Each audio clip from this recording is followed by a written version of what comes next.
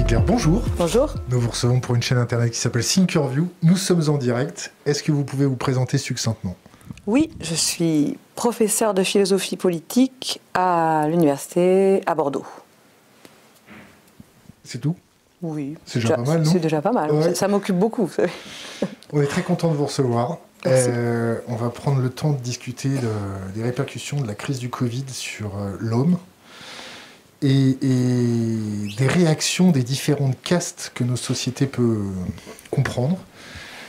S'ils sont sécessionnistes, pas sécessionnistes, démissionnaires, pas démissionnaires. Qu'est-ce que vous pensez de la position des élites face au capitalisme qui est en train d'agoniser? Le capitalisme est en train d'agoniser? Hmm, Je ne sais pas si le capitalisme est en train d'agoniser, ça j'en suis pas sûr du tout. Pourquoi? Parce que euh, pour l'instant on n'est pas passé à un autre type d'économie. Donc euh, voilà, on ne peut pas avoir décrété là euh, l'agonie. Dire l'agonie du capitalisme, c'est dire que qu'il est en train de finir et que bientôt il sera, il sera mort. Et c'est qu'on s'en réjouisse ou, ou qu'on s'en inquiète, c'est pas le cas. Enfin, pas à mes yeux. Pour l'instant, j'ai pas vu de signe clinique qu'il était en train de mourir. Donc euh, ça, c'est le premier point.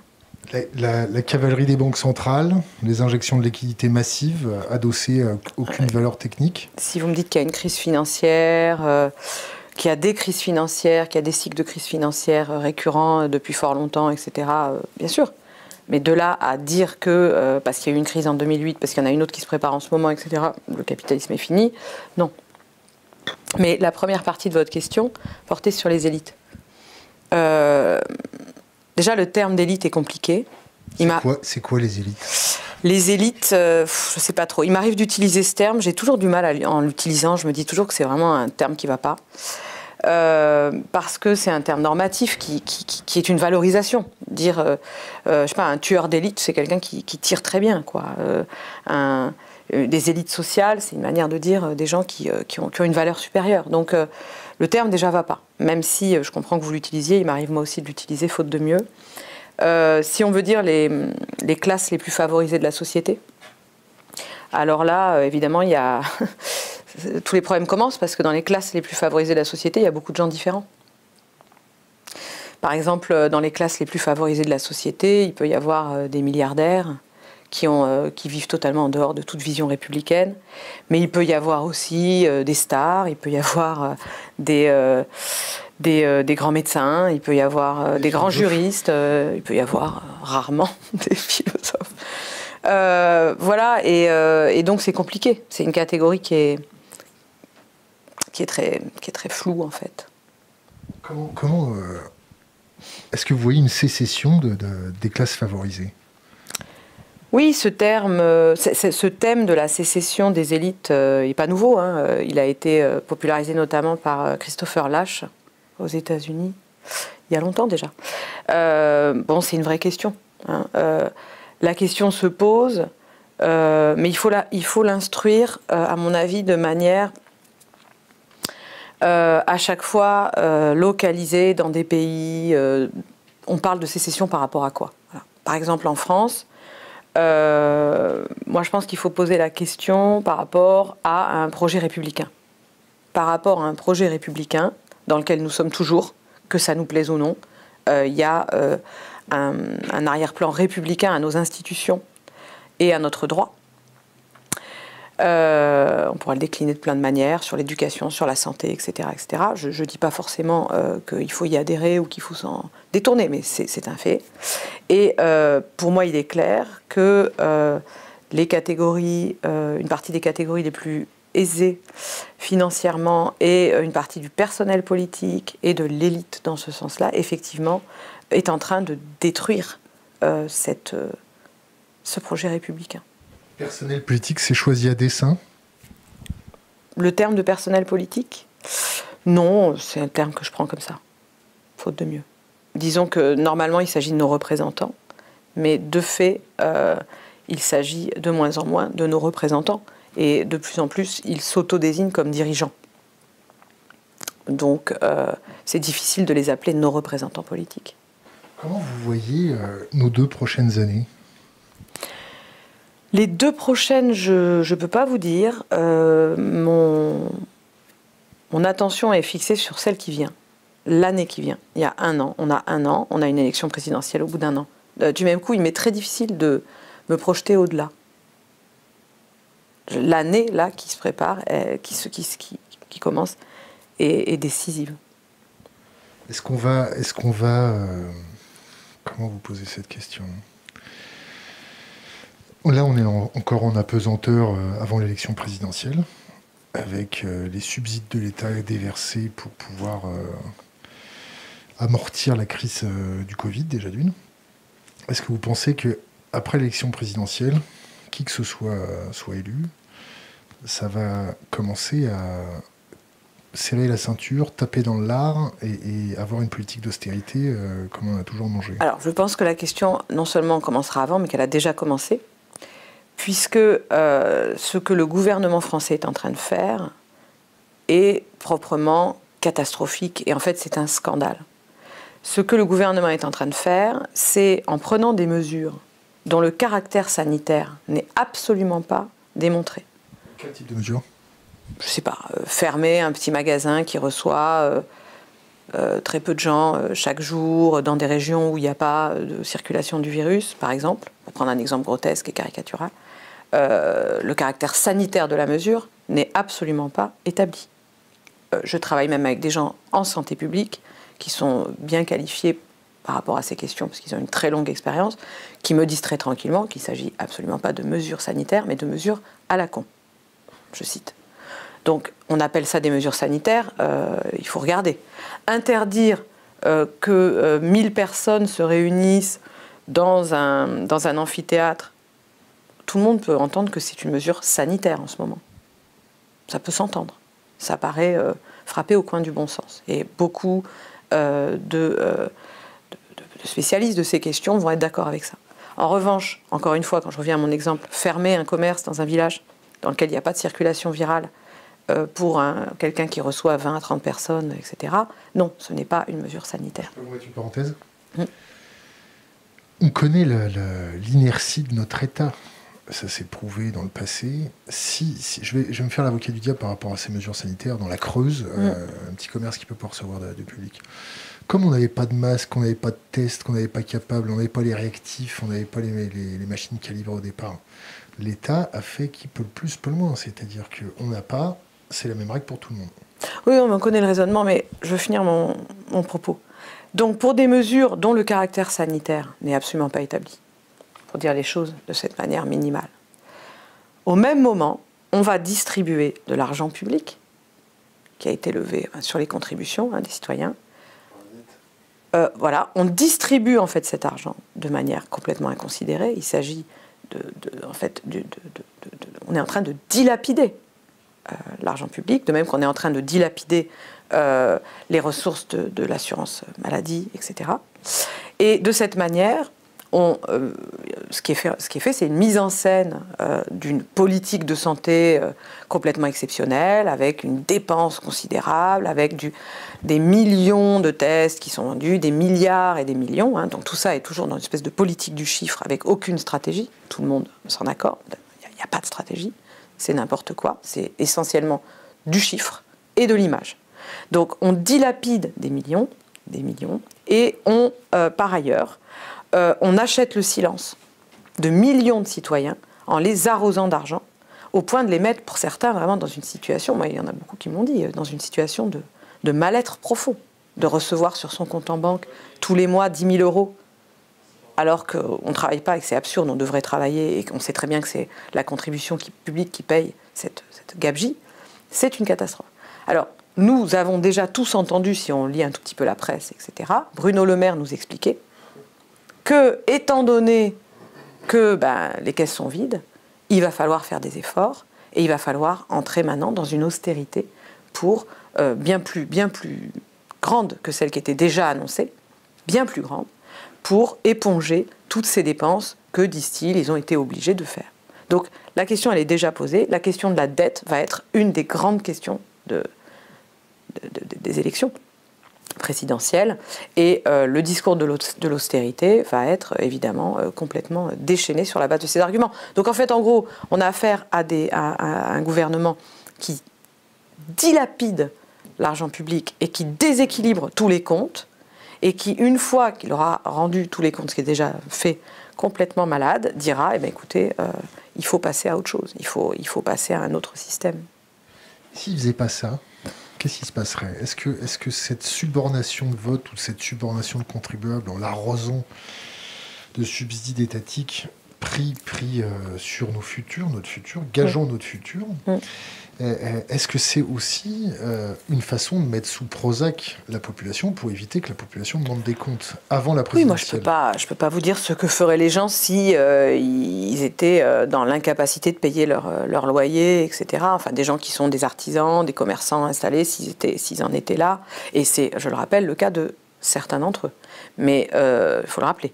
Mais d'autres sont effectivement subventionnés en fait par par un État euh, qui est devenu complètement euh, fou et qui, euh, effectivement, achète une forme de silence. Oui, effectivement. Quand vous dites l'État, mm. c'est quoi? C'est la fonction publique, la haute fonction publique mm. qui se planque depuis 40 ans dans des postes grassement payés et qui n'a jamais été mis sous des situations autres que le ronron quotidien?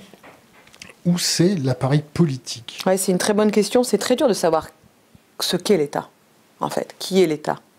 Euh, Qui représente l'État? C'est pas si simple, en fait, comme question. Euh, avec le néolibéralisme, on a un État qui organise la destruction de l'État. Oui, c'est une chose de, de, cet ordre. Donc c'est très compliqué parce qu'on ne sait plus qui est dans l'État, qui est en dehors, qui est pour, qui est contre. Vous dites la destruction, mais eux vont dire la transformation. Exactement, ça s'appelle la transformation de l'État dans le langage du néolibéralisme. Mais du même coup, ça perturbe tout, puisqu'on ne sait plus qui est dans l'État, qui est contre. Et c'est pour ça que depuis 30 ou 40 ans, beaucoup de gens croient qu'on a affaire à des politiques qui ne sont pas néolibérales parce qu'elles se font dans le cadre de l'État. C'est la naïveté que beaucoup, à commencer par euh, Michel Foucault, mais beaucoup d'autres ont suivi, et j'ai contribué à ma manière, euh, a, fini par déconstruire. C'est qu'en en fait, le néolibéralisme euh, qui, se, qui, se, qui s'élabore dans les années 30, c'est, euh, c'est le fait d'imposer les normes du marché depuis l'État, à l'intérieur de l'État et par l'État. Le cheval de Troie parfait. Qu'est-ce qu'on fait? Alors euh, ça aussi c'est une question qu'on me pose sans cesse et c'est aussi une très bonne question, la fameuse question que faire? pour ce qui me concerne, je m'en suis expliqué dans un, dans un petit livre euh, qui s'appelle Du cap aux grèves, euh, que j'ai publié au moment du premier confinement. quand je l'ai écrit, le confinement, je ne l'avais pas prévu, hein, donc j'ai réécrit au dernier moment pour, pour, pour parler de, du confinement. J'ai mis une postface qui s'appelle La grève confinée. cette question a été la, le fil conducteur de ce livre, c'était la question de que faire pas seulement le livre d'avant, il faut s'adapter, c'était euh, donc la, critique par, euh, par le pragmatisme américain du néolibéralisme, et donc c'était une vision euh, globale, pas seulement des directions globales, mais très concrètement, qu'est-ce qu'on peut faire là où on est ici et maintenant dans un environnement aussi destructeur, aussi toxique? Et donc je fais le récit dans ce petit livre de ce que j'ai vécu à Bordeaux, essentiellement à Bordeaux, pendant un an euh, sur le front de la mobilisation et sur ce qu'on ce a essayé de faire, parce que j'étais pas toute seule, ce qu'on a essayé de faire. Et je reste convaincue, comme je le défends dans ce livre, que euh, pour faire quelque chose, il faut déjà euh, penser ce qu'on fait là où on est, là où on se trouve, par exemple à Bordeaux, à Nantes, à Londres, ou peu importe, quelque part, ou à Guéret, là où on est, là où de fait on vit, là où on passe son temps, c'est là qu'il faut déjà penser ce qu'on fait et euh, au moment où on parle, c'est-à-dire maintenant.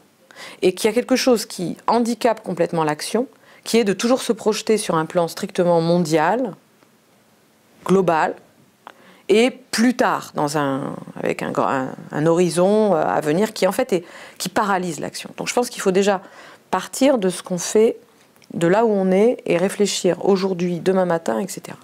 Premièrement. Deuxièmement, qu'il faut le faire euh, en essayant de ne pas être seul mais en étant quelques-uns. Et je pense que notre première tâche, c'est de trouver des complices, des points d'appui, des gens avec lesquels on peut fonctionner, qui sont des vrais camarades de lutte avec lesquels on peut agir. Voilà, très concrètement, sur des choses très précises. Évidemment, typiquement dans le, dans le cadre du travail. Mais pas seulement. On peut le faire en tant que parent d'élève, on peut le faire en tant que citoyen d'une mairie, peu importe.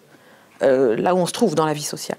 Pour ça, je pense que c'est euh, essentiel. Mais pour autant, ça ne signifie pas que c'est un repli sur euh, une espèce de, de, repli modeste sur la vie locale. Et c'est absolument pas une logique de colibri que je dénonce. je dénonce absolument la logique du colibri? Alors la logique du colibri, c'est celle qui est portée par beaucoup d'écologistes, qui est de dire N'entrons pas dans des grands conflits clivants politiques, mais revenons aux petits gestes, c'est-à-dire que si on utilise un peu moins tous euh, l'eau du robinet, si on va un peu moins tous acheter des produits chimiques, et bien petit à petit, euh, finalement, euh, toutes ces interactions sociales cumulées, nous irons vers, un monde meilleur. Ce qui est en fait une vision libérale. C'est-à-dire, les individus, chacun dans leur coin, en faisant un peu mieux, vont permettre d'arriver d'arriver euh, vers le bien. Donc c'est pas du tout mon point de vue. Moi j'ai une vision résolument politique et donc euh, avec une part d'affrontement conflictuel, c'est-à-dire euh, chaque, chaque lieu est un champ de force et on n'est pas forcément d'accord les uns avec les autres, il faut assumer nos conflits et donc il y a du conflit. Mais avant d'envisager des grands conflits du type nous allons nous attaquer au grand capitalisme mondial en faisant un plan révolutionnaire pour à la fin les battre, euh, je pense que, euh, et, il faut pas oublier, j'essaierai de le montrer tout à l'heure, on est complètement hanté par cette manière de faire, tous, même ceux qui se moquent euh, du socialisme révolutionnaire. On a gardé ces schèmes de temporalisation, de plus tard, le grand moment où on y arrivera et où ce sera où on prendra le, pouvoir et où ce sera le, moment où on pourra enfin dire ce qu'on a à dire. Euh, quand on écoute ça, c'est jamais le moment de lutter. Et c'est jamais l'endroit. Donc moi, je dis revenons à là où on est. Euh, et pour vous donner un exemple, bah, moi, c'est euh, là en ce moment, c'est à l'université, là où je me trouve, c'est là qu'est la lutte. Là, ici, maintenant, et pas ailleurs. ça ne veut pas dire pour autant, et c'est là où je, me, je me, distingue absolument du discours de certains écologistes type colibri, ça ne veut absolument pas dire que je, me, je, me, restreins à la petite forme, au petit geste, au minimalisme. Pas du tout. Il faut garder euh, euh, absolument en tête les autres échelles. Et par exemple, l'échelle nationale, avec les élections présidentielles, qui est quelque chose de fondamental, dans lequel il faut, il faut s'engager il faut s'engager soit pour euh, refuser le vote, soit pour empêcher la tenue des élections, soit pour voter pour machin, soit pour voter pour truc, soit pour euh, désinguer bidule, peu importe. Mais il ne s'agit pas, quand je dis que la lutte se passe ici et maintenant, c'est pas pour dire on abandonne donc la vision nationale, et c'est euh, encore moins pour dire qu'on n'a pas une vision globale, hein, mondialisée de ce qui se passe. Bien entendu qu'il faut avoir une, ensemble essayer d'élaborer une lecture euh, euh, des, logiques internationales. C'est quoi votre lecture de la logique internationale? Alors moi, je m'intéresse euh, à deux choses sur lesquelles je suis vraiment peu compétente, mais c'est pour moi les deux urgences. J'ai envie de mieux comprendre la fascination des chroniqueurs et compagnie aujourd'hui pour la Chine. C'est quoi des chroniqueurs? Bah, c'est-à-dire les gens qui vous expliquent un peu euh, ce qu'il faut penser aujourd'hui, qui font, qui des experts de plateau télé, qui signent des éditoriaux, qui, qui bon, qui, qui, qui, nous expliquent en gros ce qu'il convient de penser quand on est raisonnable. Euh, on a effectivement une partie d'entre eux, pas tous, pas tous, mais une partie d'entre eux qui s'est déportée du modèle américain vers le modèle chinois depuis longtemps depuis euh, les années 2000 déjà. Quoi, opportunisme Eh ben, ça m'intéresse d'essayer de, comprendre ça, d'essayer de comprendre comment ça marche, d'essayer de comprendre aussi ce que porte la Chine. Je sais pas. C'est compliqué, en tout cas, ça m'intéresse d'essayer de comprendre ça. Et en ayant bien en tête que tout le monde ne s'est pas reporté vers le modèle chinois. Mais en tout cas, dans le. Euh, tous ceux qui ont euh, pignon sur rue, qui, qui voilà, qui, qui qui articule un discours qui est euh, très écouté euh, dans ces sphères. Euh, en tout cas, ça, ça existe et ça a été très puissant au, dans le cadre de l'épidémie, de hein, où la, la, Chine a été sans arrêt montrée comme le modèle. Je le raconte dans le petit tract. ou a raison dans sa gestion de l'épidémie? Ah, pour moi, clairement, à tort. Pourquoi? Clairement. Pourquoi? Parce que euh, je l'expliquerai après si vous voulez bien. Parce que je, on dit toujours après maintenant. Non, non, je, vous promets. Et donc il y a ça qui m'intéresse d'un côté, mais qui me paraît un peu vertigineux bah, parce que je ne lis pas le chinois. Je ne lis pas le chinois et j'ai pas l'intention de m'y mettre parce que j'ai d'autres urgences. Donc déjà, ça va être extrêmement compliqué de comprendre ce que euh, la Chine veut, faire, même si là je commence à lire des choses, etc. Je ne comprends pas forcément, enfin ça, ça va être difficile. Mais là où j'ai plus de moyens de comprendre, c'est ce qui se passe aux États-Unis, effectivement. Là, le passage de Trump à Biden, euh, ça vient compliquer un peu les choses. Avec euh, la question du New Deal, la question de la planification, qui est en train de redevenir une forme de norme, Bon, ça perturbe beaucoup de choses. Donc moi, ce qui m'intéresse, c'est de penser depuis l'Europe. Hein, je ne vais pas penser depuis autre chose, puisque je suis en Europe, je suis européenne, depuis le lieu que j'occupe, et de regarder un peu les influences, en fait, euh, la concurrence des influences entre la Chine et les États-Unis sur nous. Voilà, ça, ça, m'intéresse énormément, sur le plan international, entre autres choses. Euh, voilà ce que je pouvais euh, vous dire. Après, sur, votre question sur la, sur la Chine. Ah, on viendra sur la Chine après. et sur, sur, le, sur la finance, l'extraterritorialité mm. de la finance, euh, cet État parallèle, faisant pression sur certains États pour pouvoir avoir des réformes, pour avoir des choses comme ça. Est-ce que vous avez étudié ça, ce, ce, pendant de, de la upper class financière?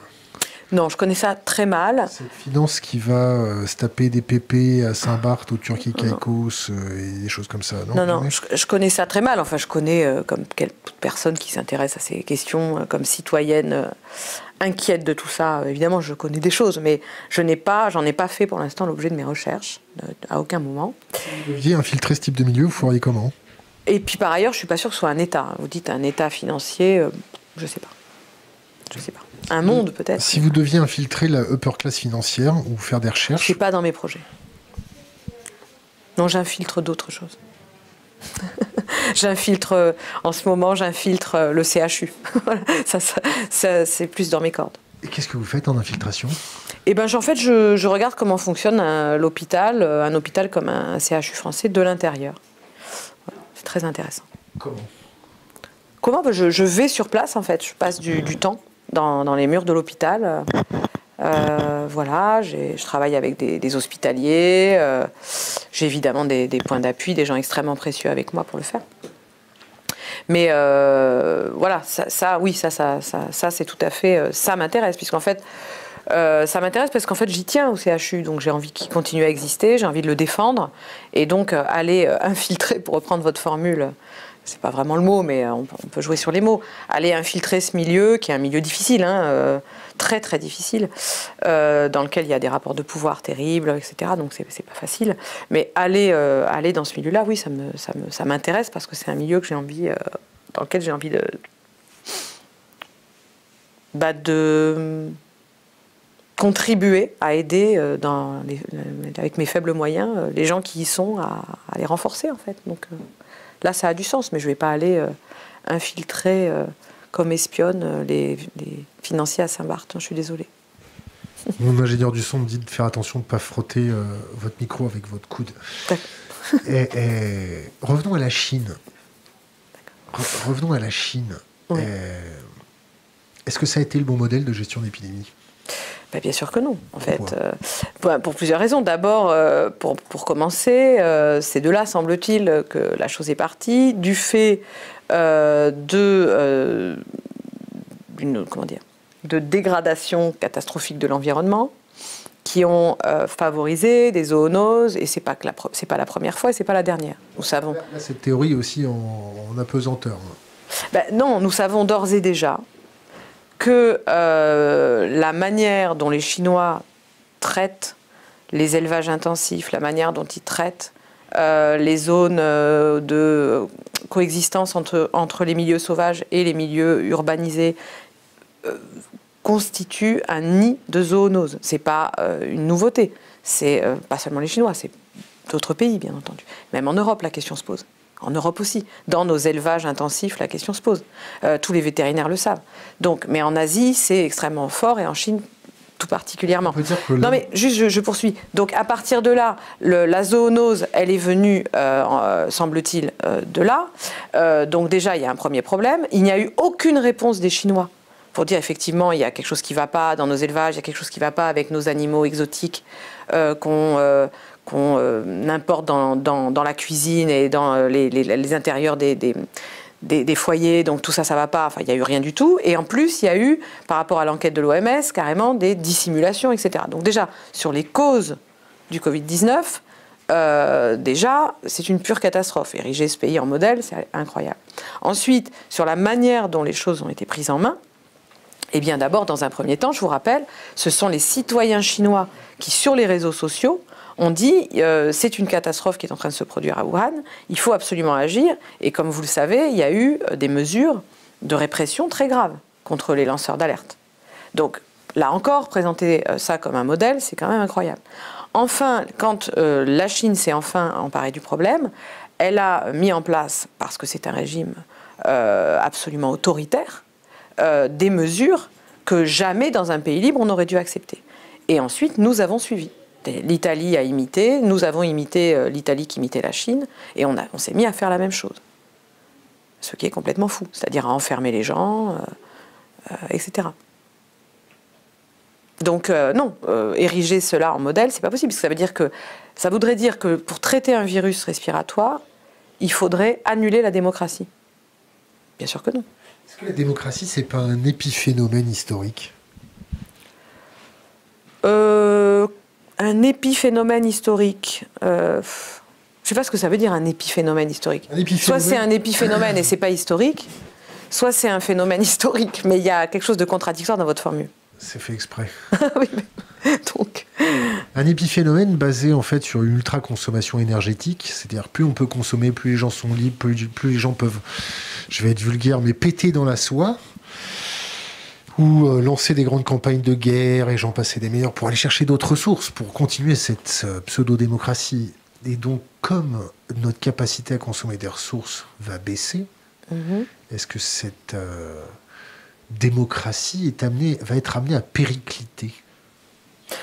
En fait, vous me dites la plusieurs démocratie choses. est un bon modèle pour faire fonctionner dites- l'élevage en batterie de l'homme? Vous me dites plusieurs choses. Vous me dites que c'est une pseudo-démocratie.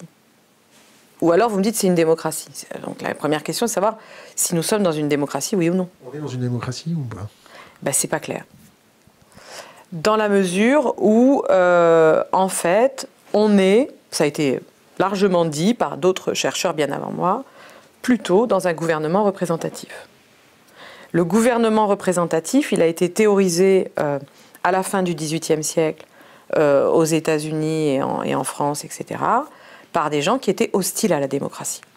Qu'est-ce que c'est la théorie du gouvernement représentatif, qui est portée aux États-Unis par quelqu'un comme euh, Hamilton ou Madison, qui sont des antidémocrates? Le gouvernement représentatif, c'est l'idée que, euh, effectivement, il va falloir porter la voix du peuple. Il y a cette référence au peuple.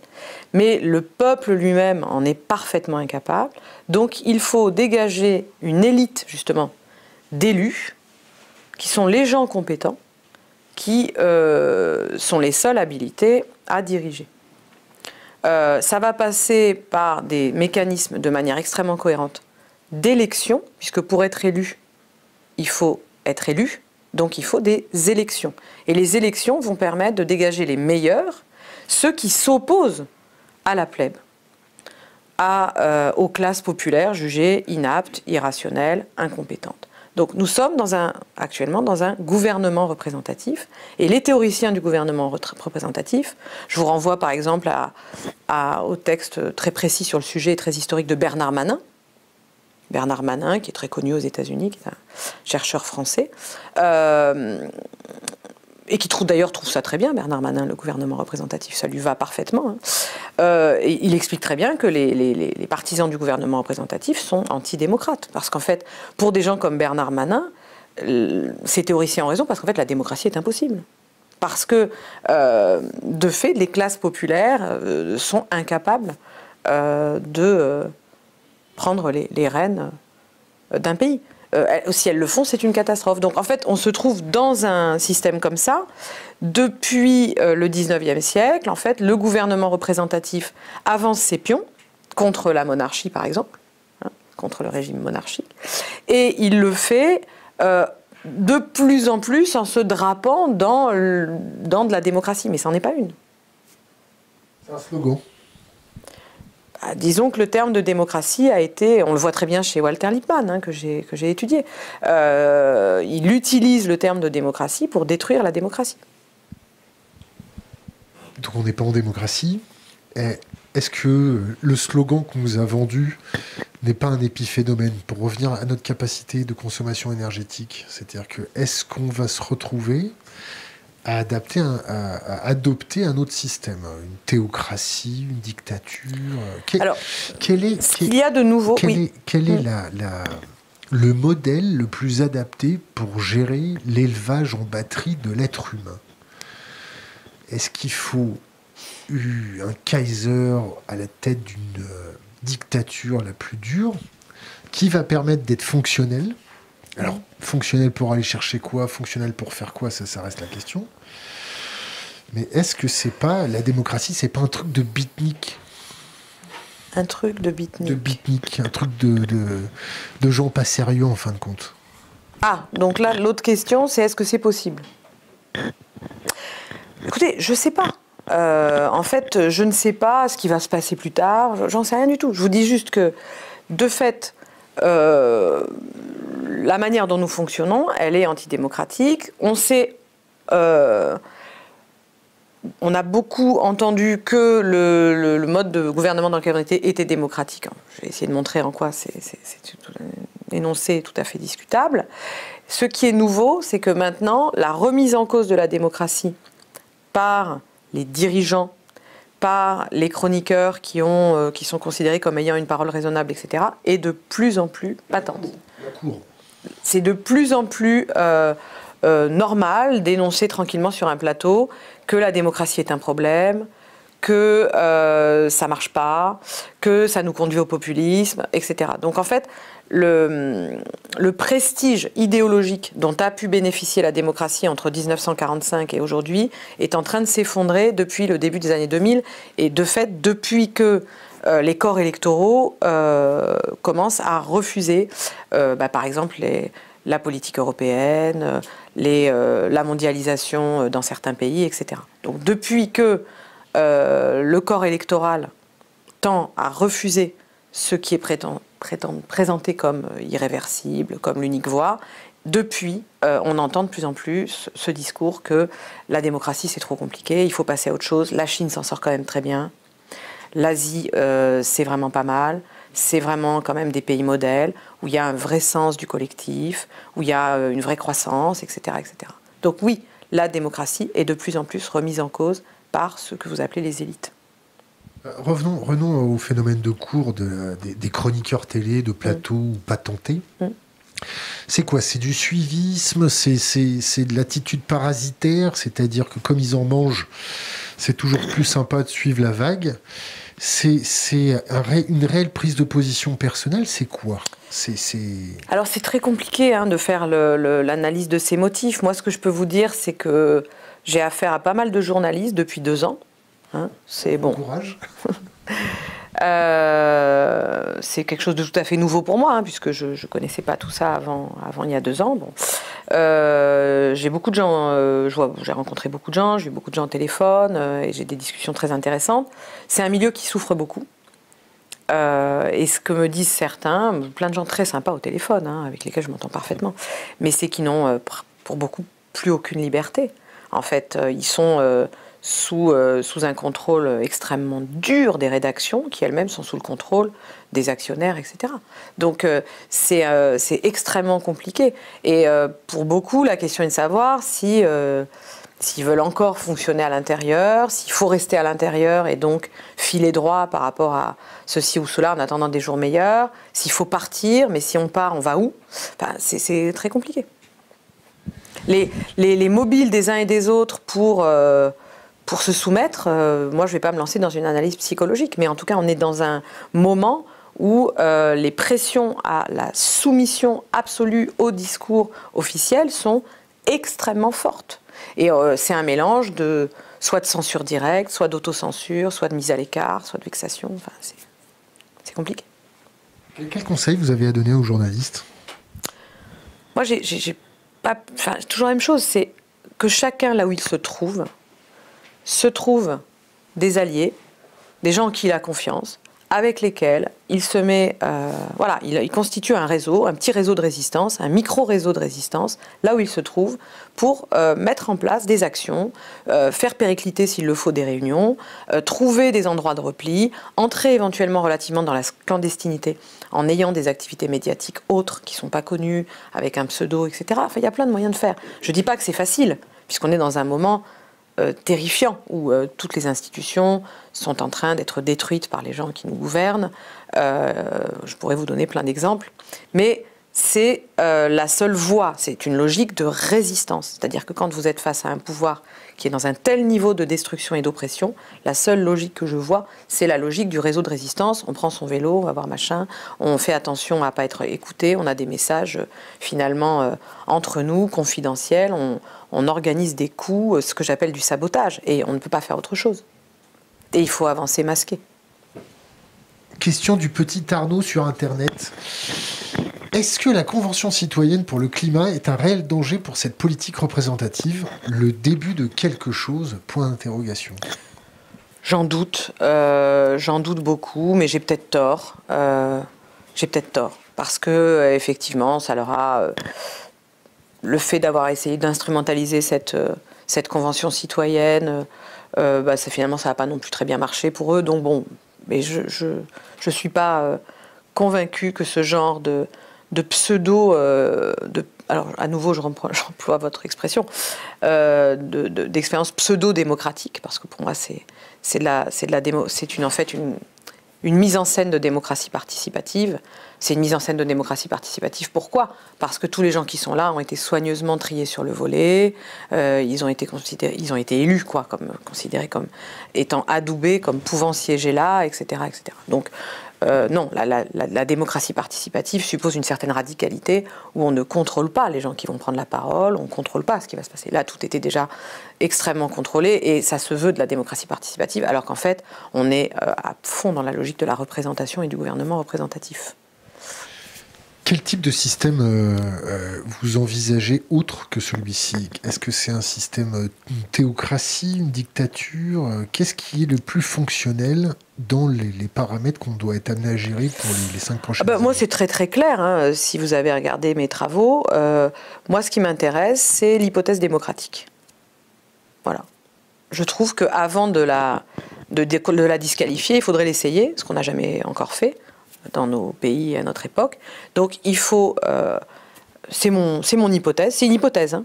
Euh, c'est pas, pas ma foi, c'est pas ma religion. Euh, euh, c'est pas de ça du tout dont il s'agit. J'entre pas en démocratie comme en religion. C'est une hypothèse, exactement comme les scientifiques ont des, ont des hypothèses qu'ils mettent à l'épreuve. Bah voilà, mon hypothèse, c'est, je suis loin d'être la seule à avoir cette hypothèse qui rend les choses euh, encourageantes. Je pense qu'il y a énormément de gens qui sont attachés à cette hypothèse. Mon hypothèse, c'est d'essayer de mettre en place partout où on est des, fonctionnements démocratiques, au travail, euh, à l'école, à l'université, à l'hôpital, partout. Et euh, avec toute la radicalité que ça implique. Voilà, c'est ça mon hypothèse. C'est pas trop tard. Et c'est pas un système. C'est pas un système, puisque c'est pas du tout une vision d'en haut, du genre je suis une intellectuelle, après avoir beaucoup lu pendant 25 ans, voilà, j'ai la vision pour le monde entier qui est la suivante, voilà le système, je vous donne mon traité et appliquez. Pour moi, ce type de démarche est aberrante. L'idée que parce qu'on a lu pendant 25 ou 30 ans, on a une vision systématique qu'on va livrer au monde, c'est la vision de tout à l'heure. C'est-à-dire le monde, euh, le monde d'après, euh, l'horizon. Euh, qui va tout changer, c'est le rapport au temps dont je parlais tout à l'heure, comme parfaitement délétère, et qui vous fait ne pas voir qu'en fait votre lutte, elle doit se mener ici, maintenant, avec les gens qui sont là.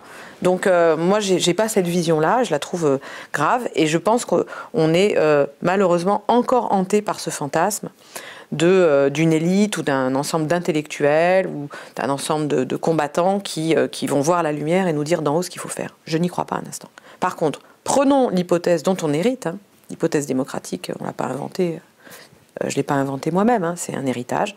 Prenons-la, prenons aussi l'idée républicaine, dont, j'hérite également, dont on hérite tous.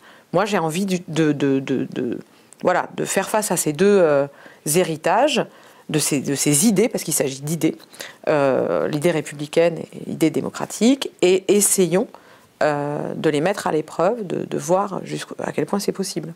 Question avocat du diable de Yanou sur Internet. Est-ce que le chômage partiel fait partie des dépenses dilapidaires que l'État, de l'État qu'elle évoque? Euh, Est-ce que le chômage partiel fait partie des dépenses dilapidaires de l'État qu'elle évoque? Ben, Ça dépend. Quand vous mettez en chômage partiel, euh, en chômage, euh, des gens au chômage, vous privez de travail des gens pour un virus respiratoire et que c'est absolument justifié sur le plan sanitaire, il faut bien leur donner une indemnité compensatoire ou un chômage ou quelque chose. Donc c'est pas du tout là, on n'est pas du tout dans la logique de la dilapidation. En revanche, quand il s'agit de mesures dont le caractère sanitaire n'a absolument pas été démontré, là, c'est une gabegie, oui, effectivement. Donc là, on revient à ce que je disais tout à l'heure. Il faut toujours être précis et situé. Il faut regarder ce qui se passe ici, maintenant, selon les contextes. Voilà. Euh, et, là, nous pouvons très facilement documenter. Euh, des gens, euh, peut-être, s'y emploient en ce moment, je l'espère, à démontrer, en croisant avec une vision de santé publique et une vision économique, des choses, tout l'argent qui est en train d'être dilapidé et qui va permettre ensuite à ce même gouvernement et à ses alliés, qui sont fort nombreux, vous le savez, ils se disent parfois de gauche, ils se disent de droite, mais en fait ils sont parfaitement alliés, ils ont la même vision, qui vont euh, pouvoir s'appuyer là-dessus pour dire plus que jamais, il va falloir faire des coupes à l'université, à l'hôpital, partout et euh, entrer dans une austérité décuplée. D'ailleurs, je, rappelle que pour l'hôpital, euh, le budget de l'année prochaine qui a été voté, c'est un budget d'austérité. Euh, voilà, il suffit de regarder ce qui a été voté au niveau de l'Assemblée nationale. Donc, c'est magnifique. Oui. Donc, c'est là qu'il y a. Comment on explique ça Qu'on est encore en train de d'affaiblir notre système de santé alors qu'on rentre dans l'ère, le, siècle des menaces, on rentre dans l'ère des épidémies. Euh, en gros, on arrive au moment de payer la facture. Et on voit, on voit notre système qui est encore euh, mis à genoux. C'est quoi? C'est une démarche intellectuelle qui n'a pas évolué? C'est des gens qui sont sur les rails de leur plan, qui ne, sont, qui ne réfléchissent pas? C'est pour faire plaisir à son supérieur N plus 1 hiérarchique, qui lui va faire plaisir à son N plus 1 hiérarchique, ainsi de suite. Oui, c'est le mélange de tout ça, effectivement. Mais on Ce sont, en fait, c'est une vision du monde qui est complètement disqualifiée.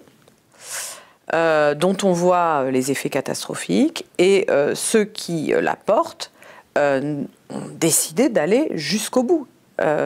Voilà. Et, Voilà. Et, et s'il n'y avait que le problème, c'est effectivement les hiérarchies de travail que vous évoquez, et qui, euh, en fait, produisent des chaînes de commandement. Enfin, je vais vous donner un exemple. Ce qui se passe à, au niveau du gouvernement actuel a un effet sur la ministre de l'Enseignement supérieur et de la Recherche, qui a décidé de détruire tous les budgets de recherche de l'université, de geler tous les postes. C'est-à-dire au moment, plus que jamais, on aurait besoin de recherche, on aurait besoin de formation, on aurait besoin de s'occuper des étudiants qui sont dans l'état de désespoir que vous savez, au moment où on aurait besoin de lieux démocratiques pour débattre de manière rationnelle et en se tenant correctement, sans s'invectiver, sans s'insulter, de euh, où est-ce que nous allons, ce à quoi sert l'université, euh, entre autres. Tout cela, euh, au même moment, tous les budgets sont voilà, coupés violemment. le problème, c'est que cela, c'est relayé par les présidents d'université, qui disent il faut couper. Alors, dans, dans leur rhétorique, ça s'appelle faire des efforts. Hein. Donc vous avez les méritants qui font des efforts, c'est-à-dire c'est ceux qui détruisent leur formation, on leur distribue des bons points en leur disant bravo, vous avez fait des efforts, vous avez un esprit de responsabilité, vous travaillez pour l'équité et la solidarité de notre établissement. Et puis tous ceux qui essaient de résister, dont je fais partie, sont considérés comme des gens qui ne font aucun effort, qui euh, n'ont aucun sens, qui n'ont aucun sens, qui sont donc irresponsables, qui conduisent tout le monde à la catastrophe par une vision radicalisée et extrémiste. Voilà ce qui se passe. alors, ce qui se passe dans, à l'université, je le répète, c'est certes euh, un président de la République et sa ministre, mais c'est un, euh, c'est un ensemble de tous les présidents d'université ne sont pas comme ça, mais malheureusement euh, beaucoup le sont. Un ensemble de présidents d'université qui, par ailleurs, ensuite vont appuyer sur des chefs, des sous-chefs, etc., qui en fait ne sont pas des chefs, qui sont nos représentants. Normalement, ils devraient nous représenter puisqu'on est aussi sur un système d'élection. Et qui, en réalité, en fait, participent à ce pouvoir et à cette destruction de nos institutions par euh, l'austérité. Donc en fait, c'est effectivement euh, le, vrai problème, c'est que c'est pas seulement un gouvernement qui est à l'heure, c'est ce que vous disiez tout à l'heure. C'est toutes ces chaînes de commandement qui sont euh, innombrables. On fait comment pour combattre cette prise de contrôle de la dialectique qui a pour but de culpabiliser et de mettre, au banc ceux qui ne marchent pas dans la parole universelle que La République en marche ou les autres nous, nous, distillent. On fait comment pour combattre cette prise de contrôle de dialectique? Qu'est-ce que, c'est prise de contrôle de bah, dialectique? De dire, voilà, euh, en gros, bah, tu casses ton outil de travail, tu fais des économies, c'est bien. Mmh. T'es mmh. un bon, t'es mmh. bien. Est-ce que c'est pas trop tard? Est-ce que, je vais être vulgaire encore, mais est-ce que les gens sont pas devenus trop résignés, trop cons, trop mhm. soumis mhm. pour relever la tête et dire non, non, ça mhm. suffit hein. Ou ils ont trop peur? Écoutez, il faut pas trop se poser cette question. Moi, ce que je peux vous dire, c'est qu'il y a des millions de gens que cette situation fait souffrir. Voilà. Que euh, quand je fais ce diagnostic, je suis absolument pas toute seule. Donc, moi, c'est mon seul problème, ici et maintenant c'est euh, de dire cela, je ne suis pas seul et je ne vois pas pourquoi nous décréterions d'emblée que nous avons perdu. Et c'est toujours la même angoisse. Les gens ont peur de perdre, ils se projettent dans l'avenir, ils veulent soit une espèce de système à la fin, comment on va prendre le pouvoir, etc. Mais s'ils voient pas, s'ils voient pas, si on voit pas un plan en fait qui nous met, euh, voilà, si on peut pas se projeter dans une espèce d'horizon euh, téléologique où on aura gagné à la fin, et si on n'a pas des garanties, eh ben, ça paralyse les gens. Je crois que c'est une erreur. Il faut, euh, et c'est là où il ne faut pas sombrer dans le sacrificiel, il ne s'agit pas de se crucifier, etc. Il faut se protéger, il faut être malin, mais il faut lutter pied à pied. Et, devenir martyr Non, surtout pas. surtout pas. Surtout pas parce que c'est précisément, euh, c'est précisément euh, pas comme ça que ça marche. Ça, ne marche pas. là aussi, c'est toujours les mêmes vieux schèmes. Après le, grand soir dans lequel tout le monde se, continue à se projeter. Euh, après une victoire assurée par un plan euh, qui serait déjà entièrement pensé, il y a euh, bien sûr l'idée que si on lutte, il faut se sacrifier, il faut le payer deux fois. C'est un vieux schème chrétien qui imprègne le marxisme révolutionnaire. on a chez Marx vraiment l'idée que le prolétariat est, un nouveau Christ et un, agneau qu'il va falloir sacrifier à l'autel de l'histoire pour, pour ensuite se, libérer. non, je pense que c'est une erreur funeste. Et c'est une manière toujours de se projeter dans un au-delà. Ça a été très très bien, euh, très, très bien montré par, euh, par Nietzsche, dont je partage absolument pas les options politiques, mais qui a très bien montré qu'il y avait dans le socialisme révolutionnaire une structure en fait qui est euh, une manière de temporaliser qui vient du christianisme avec un au-delà. non, il faut revenir ici. Et ici, on a des choses à sauver. Moi, tous les matins, j'ai des étudiants euh, en face de moi. C'est à eux que je dois m'adresser. Je dois leur montrer que je me comporte de manière responsable, c'est-à-dire que je refuse ces coupes, je refuse euh, de collaborer avec un pouvoir qui est destructeur. Et euh, c'est déjà, rien que d'avoir fait ça, c'est déjà un acte d'éducation. Voilà, ils en font ce qu'ils veulent, mais euh, voilà, j'ai affaire à des étudiants dont je suis responsable, j'ai euh, des responsabilités, même si elles sont minuscules, dans mon université, et je dois les défendre, euh, la tête haute, et je dois me, me, protéger avec les autres avec lesquels je lutte, et les protéger aussi, pour qu'on n'ait pas à en payer le prix. Et on en est capable. Si vous voulez, je n'arrête pas de le répéter, je suis fonctionnaire d'État, ça va. Comment? Combien vous gagnez? Assez peu en fait, parce que quand on, on, se rend compte qu'on euh, on a fait, dans, pour arriver là où j'en suis, 15 ans d'études. Comme chirurgien. Ouais, et qu'on peut ajouter 3 ans pour devenir professeur, donc ça fait, on en est à 18. Que on, très souvent, ce qui a été mon cas, on a fait un emprunt, que je traîne encore, juste pour pouvoir se loger à Paris, quand, etc. Bon, des gens comme moi, à 25 ans d'ancienneté, en fait moi j'en ai plus parce que j'ai commencé plus jeune encore, c'est 3000 euros par mois. Eh oui. Donc 3 000 euros par mois, vous vous doutez bien que ces gens-là ne euh, peuvent pas se loger à Paris. Euh, même dans une ville comme Bordeaux. Ou dans des conditions euh, lamentables. Voilà, pour peu qu'ils aient une famille avec deux, trois enfants, bon, ils savent même pas où les mettre quand on est dans une ville comme Bordeaux ou euh, Strasbourg, etc., euh, c'est très difficile d'habiter au centre-ville. Euh, la plupart, on a, des dettes, des crédits, on téléphone à... Enfin, je veux faire pleurer personne, hein. il y a des gens qui sont dans des situations bien plus catastrophiques. Mais c'est juste pour comprendre que nous n'appartenons pas à l'élite sociale, au sens économique du mot, plus en tout cas, parce que c'était le cas avant. Hein. les, universitaires avaient un niveau de vie euh, beaucoup plus élevé que les classes moyennes, enfin plus élevé.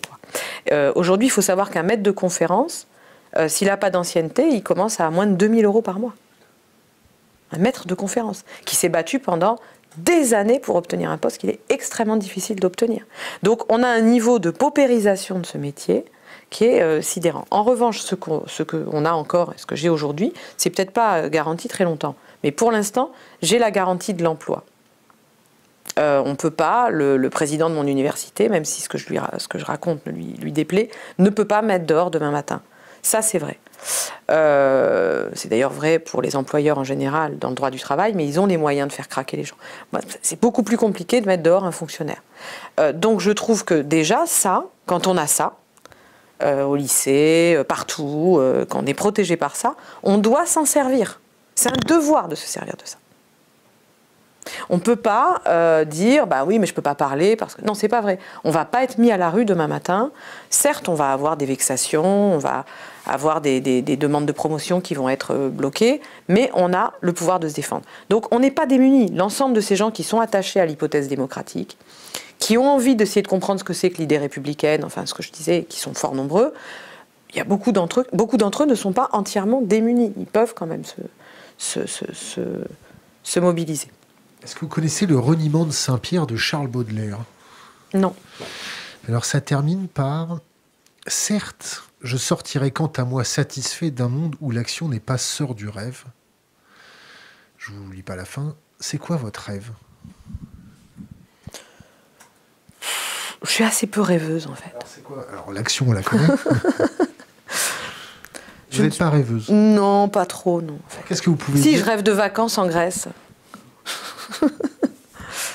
à Mykonos Non, pas. non, donc non, je ne vois pas les choses en termes de rêve, en fait. Du tout. Non. Pourquoi? Parce que je vous dis, moi, ce qui m'intéresse, c'est le réel, en fait. La réalité, la matérialité, la précision des choses.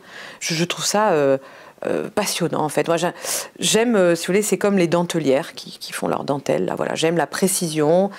Où est-ce qu'on en est? En fait, je suis profondément matérialiste. Et euh, j'aime regarder l'état des forces euh, euh, réelles du monde tel qu'il se trouve, la manière dont on travaille, comment. Voilà, c'est ça qui me plaît. Et ce qui me plaît, c'est de transformer, de contribuer à transformer un état de fait réel. Quoi. Donc, vous pouvez nous parler de vos étudiants? Mm-hmm. Ils sont dans quel état sanitaire, quel état financier, quel état psychologique, quel état alors, ça va être très dur de vous répondre parce que euh, j'ai 300 euh, étudiants et la plupart d'entre eux ont purement et simplement disparu. Ils ont disparu euh, pour une raison très simple, qui est qu'on les a mis dehors. On les a, je vous ai parlé du logement à Bordeaux, hein, c'est extrêmement compliqué de se loger à Bordeaux, ça coûte extrêmement cher. tous les signaux ont été envoyés par notamment mon université que euh, il y aurait plus de cours. Il y aurait plus de cours euh, pendant le moment du confinement, mais au-delà, etc. Donc tout a basculé dans euh, des contenus donnés par Internet. Donc forcément, vous pouvez très bien comprendre, la plupart sont partis. Et avec aucune garantie de revenir. Je ne sais pas quand est-ce qu'ils vont revenir. Je ne sais même pas s'ils vont revenir un jour. là, pour l'instant, la rentrée prochaine, on n'a aucun signal donné par notre université qu'une rentrée va être organisée. Et à la place, on a une euh, mise en scène pathétique d'enseignement, mais il ne s'agit pas d'enseignement. un, individu qui parle à sa caméra tout seul, c'est pas un cours. Ce n'est pas un cours. Un cours, c'est une aventure collective, c'est une interaction, c'est un groupe qui part ensemble pendant plusieurs semaines, plusieurs mois pour euh, travailler une question et c'est une aventure intellectuelle qu'on fait ensemble. Euh, ce n'est pas une connexion entre un individu tout seul qui parle dans le vide devant sa caméra et un autre individu tout seul qui essaie de régurgiter ensuite pour avoir une bonne note. Ça, c'est pas un cours. Donc là, on a mis en scène toute une série de, de, dispositifs pseudo-pédagogiques qui sont en fait un désastre. Là où je me réjouis et je remercie vraiment les médias, y compris les médias dominants, c'est qu'ils ont extrêmement, vraiment documenté ce désastre. Il n'y a pas eu un article depuis le mois de novembre dernier pour dire que c'était bien, les cours par Zoom, etc. Pas un seul. Par contre, il y a eu des tonnes de reportages télévision, d'articles dans toutes les revues pour dire que c'était un désastre. Et vraiment, bravo, là, quelque chose a été établi et là, on a gagné quelque chose. Le problème, c'est que du côté des instances, pour employer un terme un peu flou, il n'y a aucun signal pour demander un retour, euh, aucune volonté pour que les étudiants soient sur place. J'ai dû me battre avec quelques collègues extrêmement courageux en plein hiver contre tout le monde pour arriver à faire revenir les étudiants. J'ai réussi à récupérer une toute petite partie, c'est-à-dire ceux qui étaient obligés de rester à Bordeaux et qui étaient euh, complètement euh, livrés à eux-mêmes. Et ils sont venus sur place et on a eu des tout petits groupes qu'on a maintenus et ils nous ont énormément remerciés. Et ils me remercient encore d'avoir fait ça. Mais euh, voilà où on en est. Et ils, bah, ils nous ont fait part soit de leur désarroi personnel, qui est vraiment immense, soit quand ils étaient très honnêtes et qu'ils disaient bah, moi personnellement dans ma vie en ce moment je vais relativement bien donc je tiens de leur désarroi euh, collectif c'est-à-dire pour, euh, pour les étudiants et pour l'université. Donc l'université là est un champ de ruines. Euh, cette année a détruit nos universités qui étaient déjà très fragilisées par des politiques de, de, coupe perpétuelle de, par la misère dont je vous ai parlé hein, par euh, le fait que, sans parler de nos revenus, hein, mais nos conditions de travail qui sont complètement dégradées. Il n'y a pas de chauffage, il y a de la flotte qui pisse Alors effectivement, il n'y a absolument pas de chauffage, euh, donc on crève de froid. Euh, les, les, locaux sont souvent, c'est pas forcément le cas par exemple de, de, de mon couloir, puisqu'il est en train d'être euh, il va être livré tout neuf, flambant neuf au mois de juillet. Mais euh, globalement, les, universités françaises sont dans un état pitoyable euh, sur, le plan, sur le plan tout simplement des locaux. effectivement, il y a des problèmes de chauffage. Et puis plus généralement, sans parler de la, logistique, les, rapports professionnels se sont complètement dégradés. On est dans, dans une automatisation, avec, on est gouverné par des outils numériques type hyper-planning, etc il n'y a plus de rapport humain quasiment. Hein. Tout, passe par des espèces de mails automatisés, les gens sont atomisés. Et euh, les chercheurs, enseignants-chercheurs, n'ont plus du tout le temps de faire leurs recherches, puisqu'ils sont complètement phagocytés par des tâches administratives de plus en plus folles, qui visent à nous, à nous détruire. Hein. Et euh, quand ils essaient de faire des cours, c'est tellement éloigné de la recherche qu'à la limite, au bout d'un moment, ça finit par des QCM automatisés. Et c'est ce qui est le cas aujourd'hui. Donc euh, des robots en fait qui vérifient que, que l'impétrant a bien pu régurgiter euh, les, quelques éléments de contenu euh, qu'on a envoyés à une espèce de masse. Voilà. Donc oui, l'université, elle est à terre. et c'est effectivement un champ de ruine. La question qui se pose à moi, c'est pourquoi j'y reste? Il y a plusieurs raisons. Non, non, ça, il est hors de question que ce soit un sacerdoce. Une façon Puisque j'insiste vraiment, je n'ai aucune appétence pour euh, quelque chose de sacrificiel ou de christique. Euh, j'ai la tendance, on l'a tous, on l'a tous quelque part, quand on est un peu dévoué, plus ou moins. Euh, elle existe en moi, mais il est hors de question qu'elle prenne le dessus. Et il est hors de question qu'elle prenne le dessus pour mes camarades. Donc c'est pas du tout ça. C'est juste que factuellement, effectivement, ça me garantit de pouvoir me loger quelque part, etc. Mais pas seulement. J'aime mon métier profondément. J'aime les étudiants, les, enfin, transmettre, euh, voilà, euh, apprendre beaucoup d'eux. Non seulement je leur apprends des choses, mais ils m'apprennent énormément. Donc ça, j'y tiens beaucoup. Vous aimez votre pays? Non, je finis sur l'université. Et je pense que euh, même si elle est extrêmement malade, profondément abîmée, je ne suis pas prête à là à l'enterrer. Voilà. Je considère qu'il y a peut-être encore des universités ici ou là qui, survivent, qui font de belles choses.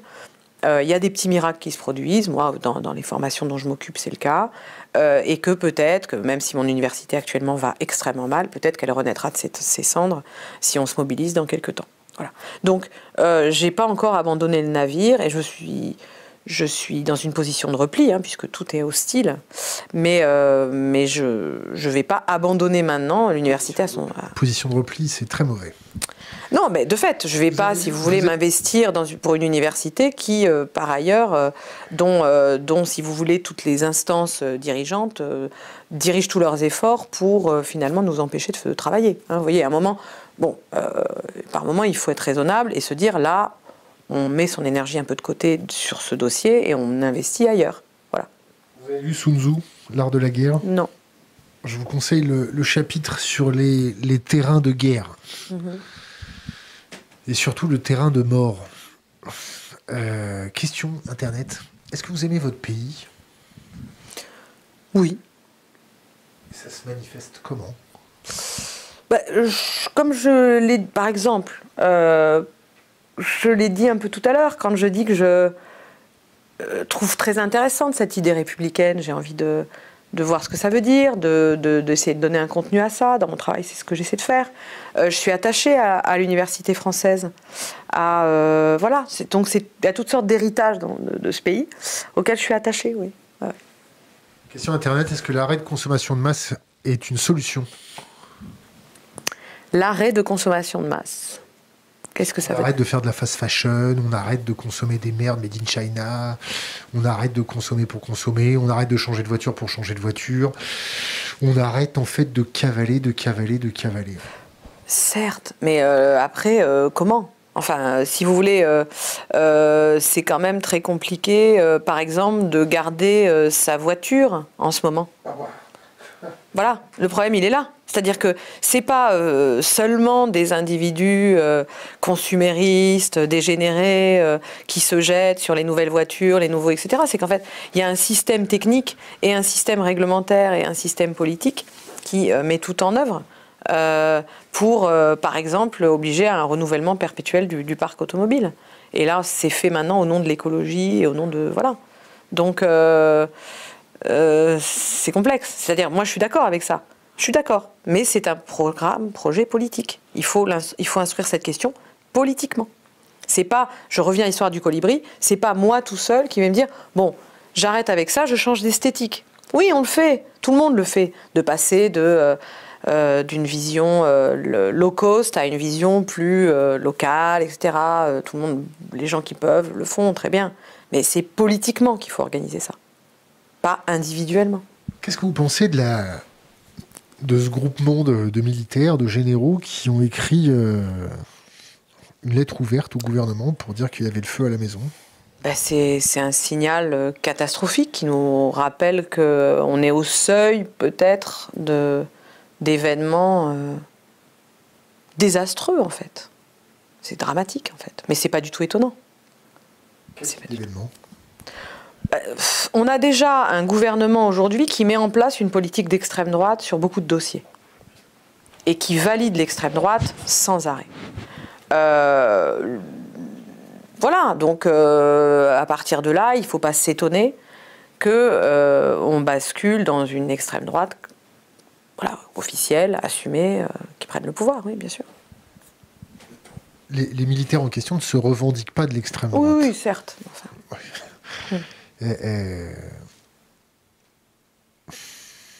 C'est-à-dire quand vous en êtes, pour dire les choses plus clairement, quand dans un pays, il y a des risques permanents de mutinerie de la police et euh, de sédition d'une partie euh, euh, de, de, grands généraux, etc., c'est quand même que vous pouvez vous poser des questions on retire les percuteurs des manifestations officielles quand il y a des militaires. Hein, il y a des questions à se poser sur euh, la suite, c'est-à-dire que effectivement euh, euh, la, sédition est à l'ordre du jour. Quoi. Le régicide aussi? J'en sais rien. Je, je suis pas, j'ai pas de données des RG pour savoir si Macron. régicide? Bah, c'est de tuer un roi. Donc, en l'occurrence, je comprends dans votre question, est-ce que, est-ce que tel ou tel président serait susceptible d'être assassiné, j'en ai absolument aucune idée. Je ne connais pas l'état des forces, des forces de sécurité, des, j'en sais rien. Si je vous dis sortir les fourches, ça vous fait penser à quoi? Pas grand-chose. Si, ça me fait penser à quelque chose qui m'a profondément déplu au début du mouvement des Gilets jaunes, euh, qui était euh, le commentaire suivant. Oui, oui, c'est une jacquerie. Voilà.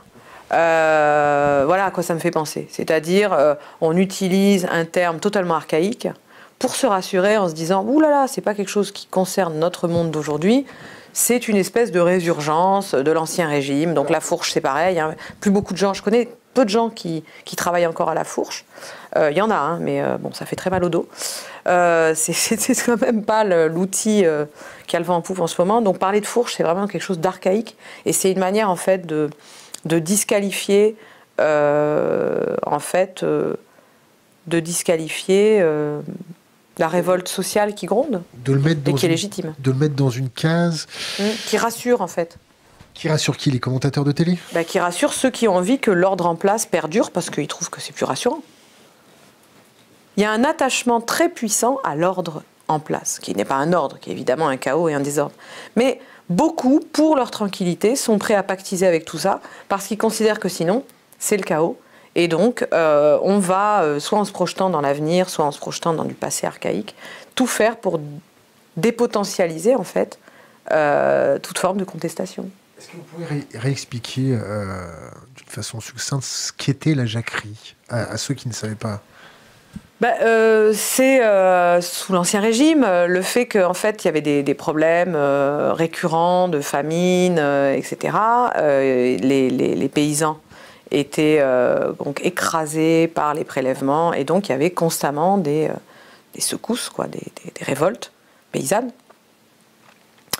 Euh, qui, euh, quelque part, un peu dans cet imaginaire-là euh, du terme disqualifiant de jacquerie, ne menait jamais à rien, en fait. Au fond, c'est ça l'idée. C'est que ça mène à rien. C'est, c'est voilà, c'est du. C'est, y a, ce, que vous ce qu'on entend aussi aujourd'hui quand on parle de grogne, je ne sais pas si vous. ce que ça vous évoque ce terme, mais. Bah, bien sûr, c'est. en fait, moi, il m'arrive régulièrement de participer à des, des mouvements de, de, des mobilisations sociales contre tel ou tel euh, dispositif. Par exemple, la dernière fois, c'était contre le projet de réforme des retraites que pour l'instant nous avons fait échouer. Pour l'instant. Non, mais il faut le dire parce que on ne, dit jamais assez.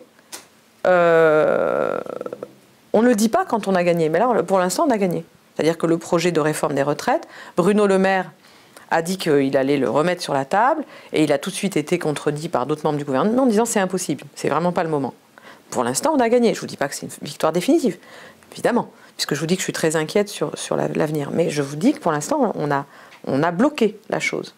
Eh bien, quand on a fait ce travail, qui a été un vrai travail social et politique, qui a été très puissant, sinon on ne l'aurait pas bloqué, euh, on, parlait euh, de nous en ces termes, de la grogne dans la rue.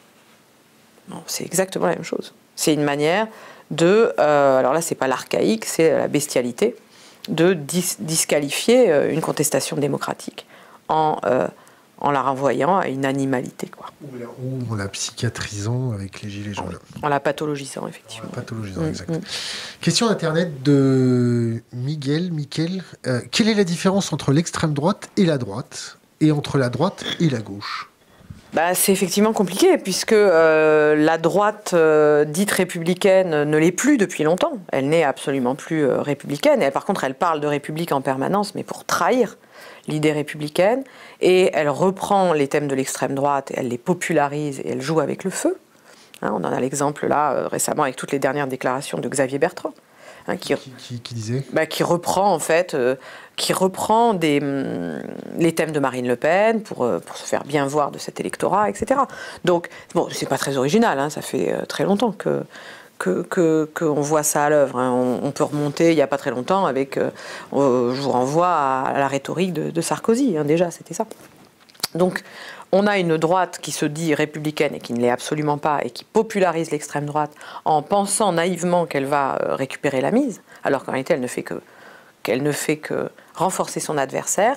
Et on a une euh, prétendue gauche qui en fait reprend le discours de la droite, donc le programme de la droite euh, néolibérale depuis très très très longtemps. Vous parlez des socialistes là? Oui, oui, bien sûr. Ah, Et des ont- écologistes aussi.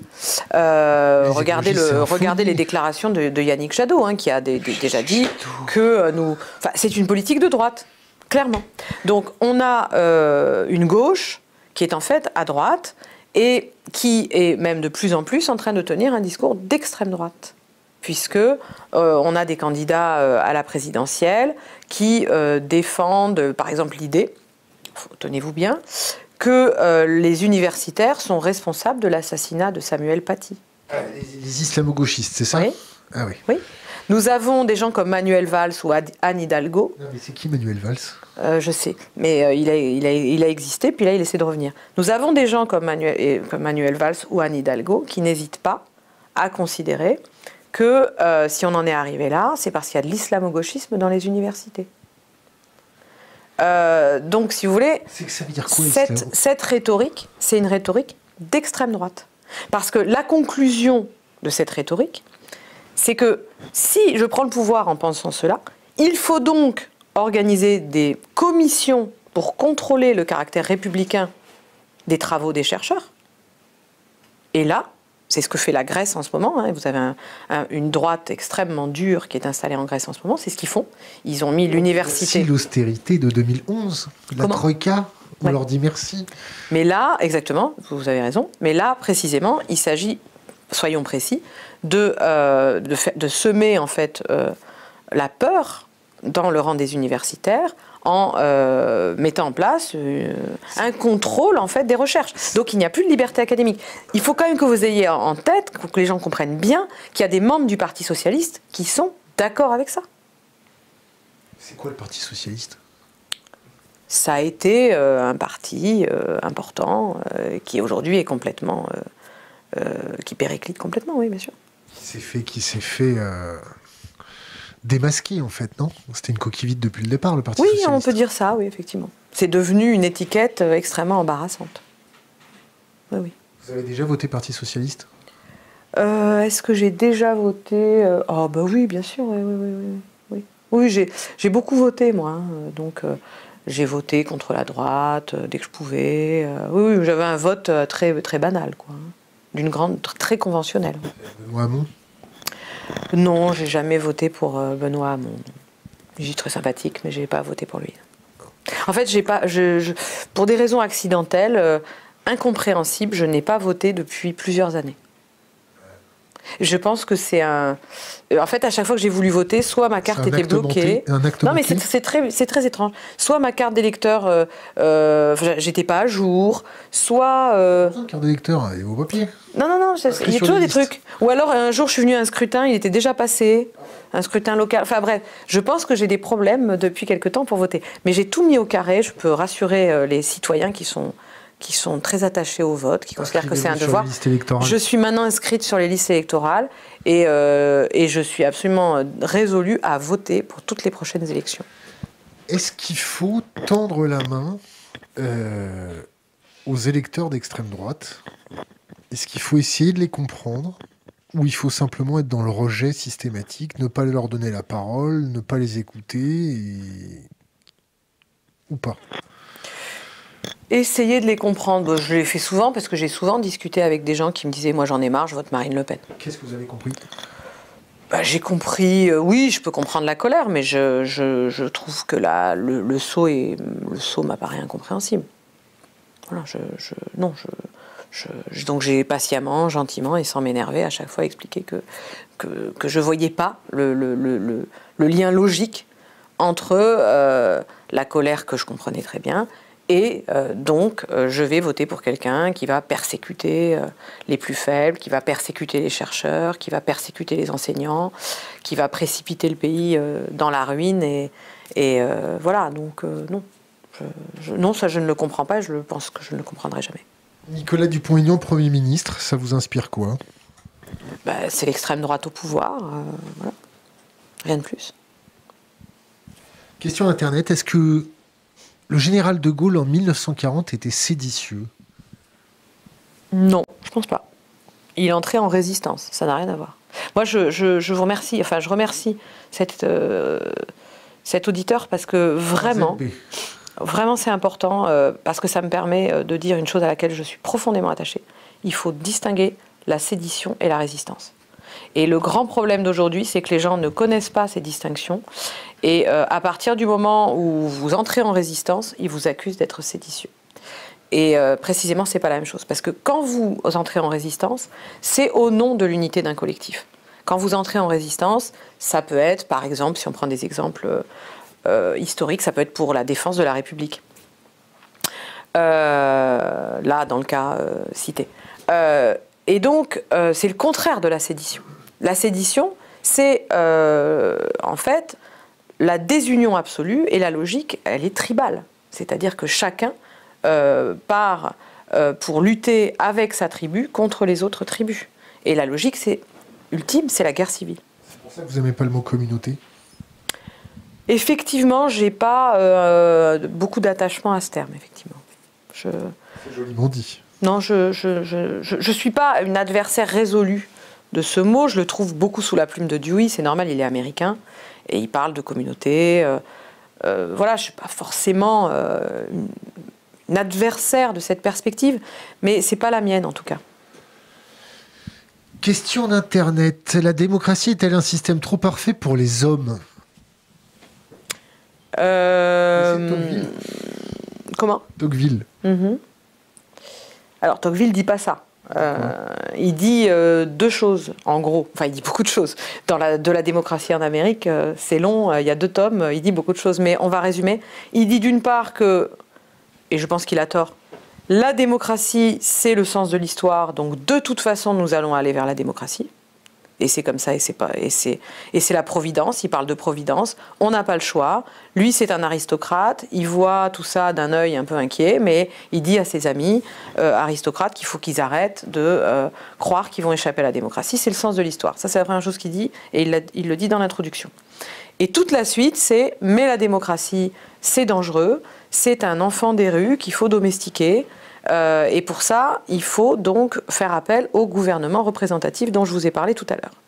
Donc l'idée, c'est de domestiquer la démocratie, euh, c'est-à-dire, pour lui, le peuple, euh, parce que c'est un torrent bouillonnant qui casse tout sur son passage. Alors c'est le sens de l'histoire, mais il va falloir l'endiguer, en fait, exactement comme un torrent dangereux, par euh, les digues du gouvernement représentatif et donc par des élus compétents, etc. etc.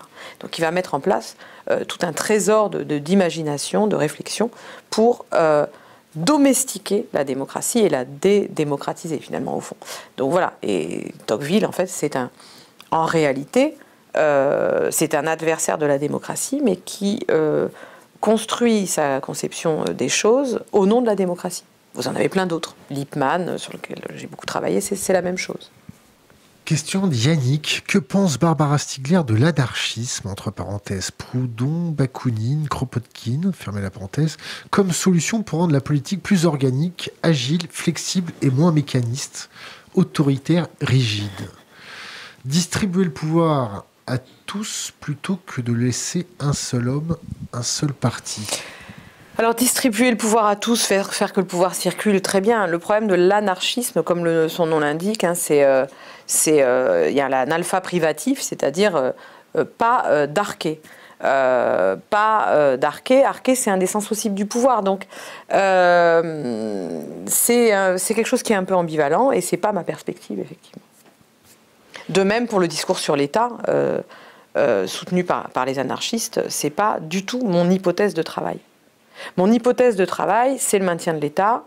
Mon hypothèse de travail, je suis désolée, c'est extrêmement déceptif, hein, mais c'est vraiment tout sauf, euh, bah, c'est tout sauf original. C'est-à-dire que je euh, m'estime, euh, enfin, j'estime que le plus raisonnable est de essayer de tester sérieusement les hypothèses dont on hérite, qui sont effectivement en France l'idée républicaine, je l'ai dit plusieurs fois, la démocratie, les institutions de l'État, auxquelles moi je suis profondément attachée. Et donc ça explique pourquoi je ne suis pas passée du côté des conceptions anarchistes de la lutte. Voilà. Mais je, comprends, hein, je, respecte, mais c'est pour l'instant pas ma perspective. Ça ne veut pas dire que ça ne la sera jamais d'ailleurs. Question Internet. C'est quoi l'islamo-gauchisme? Alors, l'islamo-gauchisme, c'est euh, une espèce de, d'invention grotesque de, de, différentes personnes. C'est venu euh, de ci, de là. Alors, en France, il y a euh, un certain Taguieff qui a, popularisé ça. Peu importe. En tout cas, ce terme qui ne veut rien dire, qui est profondément vicieux, puisqu'il joue à la fois sur le mot islam et le mot islamisme, hein, c'est-à-dire l'islamo-gauchisme, c'est à la fois le fait que une gauche jugée euh, extrême euh, pactise avec les musulmans, et ça suggère aussi euh, qu'elle encourage l'islamisme et donc les attentats. C'est comme ça que Blanquer a pu dire que les universités étaient gangrénées par l'islamo-gauchisme et qu'elles étaient responsables de, euh, de, ce qui s'était passé euh, avec Samuel Paty et de son assassinat abominable. Donc il nous a quand même accusés, nous les universitaires, d'être responsables de cette décapitation. Ça n'a ému personne. Euh, franchement, euh, j'ai pas entendu en fait dans le pays un scandale exigeant la démission du ministre. C'est un ministre de l'Éducation qui s'adresse en fait à ses personnels, puisque Frédéric Vidal est, sous sa responsabilité. Donc il s'adresse à ses personnels et il les accuse d'être responsables de la décapitation euh, abominable d'un de leurs collègues. Donc si vous voulez, c'est quand même euh, incroyable. Donc l'islamo-gauchisme, c'est ça. Et le but, c'est quoi? Le but, c'est à la fois évidemment de faire taire les intellectuels qui travaillent sur le racisme, qui travaillent sur toutes ces questions, et euh, les discriminations en tout genre. Mais c'est pas seulement ça. C'est aussi le, but ça j'en suis convaincu, c'est de décrédibiliser une partie de la gauche, euh, et en particulier certains candidats à la présidentielle. Bah, tous ceux euh, qui sont pas au Parti socialiste ou. Ça représente une menace. Oui, bien sûr. Donc, on a différents, différents représentant euh, d'une gauche qui se dit soit euh, radicale, soit je ne sais pas quoi. Et en tout cas, le but, c'est de les décrédibiliser en les rendant aussi infréquentables que euh, l'extrême droite.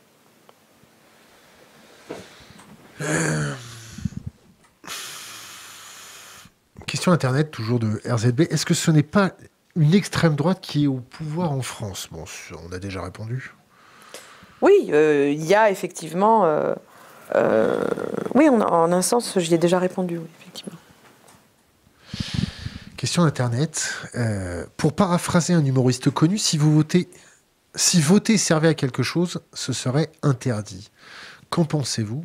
Est-ce que vous voterez en 2022 Oui, je voterai en 2022. Euh, je l'ai dit tout à l'heure. J'ai donc fait les démarches pour être enfin inscrite à nouveau sur les listes. Oui, je voterai en 2022. Hein vous avez voté quoi? Euh, je, je, je, tiens pas à le dire. Je n'ai pas du tout l'intention de, de me d'appeler. Ça, se dit pas si on vote Benoît Hamon de toute façon. Non, mais euh, c'est pas ça. Mais c'est que pour l'instant, je ne tiens pas à le dire. Et peut-être qu'un jour je le dirai. Mais pour l'instant, non. C'est-à-dire, je choisirai le moment où je le dirai si je le dis. Question du petit Arnaud. Comment définissez-vous le mot radical? Que veut-il dire aujourd'hui? Euh, Radical, c'est ce qui renvoie à la racine. Donc radical, déjà, ça ne veut pas dire extrémiste, je tiens à le dire. Radical, ça veut dire qu'on reprend les choses à la racine. Ça implique une reconstruction, une refondation. Et donc ça implique un travail beaucoup plus sérieux et beaucoup plus profond. Extrémiste, ça veut dire autre chose. Ça veut dire euh, voilà, aller à, l'extrême, à la limite euh, du possible, euh, à la limite de la transgression, à la limite peut-être peut-être éventuellement basculer dans la violence. Donc c'est autre chose. La radicalité, c'est quelque chose que je revendique absolument. C'est le fait de penser les choses de la manière la plus approfondie possible et de les reconstruire, les transformer au plus profondément. Et je considère d'ailleurs que au fond, euh, c'est une des vertus du travail euh, philosophique. Quand euh, on enseigne, par exemple, l'art de la dissertation à des élèves, on leur apprend à essayer de penser de manière radicale, à avoir une certaine radicalité dans le questionnement. par exemple, si on donne un sujet de dissertation sur l'État, ben, il va falloir avoir une certaine radicalité pour, au fond, qu'est-ce que c'est que l'État Et au fond, est-ce qu'il faut l'État Jusqu'à envisager que peut-être il ne le faille pas, la discussion avec les anarchistes, qu'il faut avoir. Donc voilà, c'est vraiment euh, une, c'est ça la radicalité.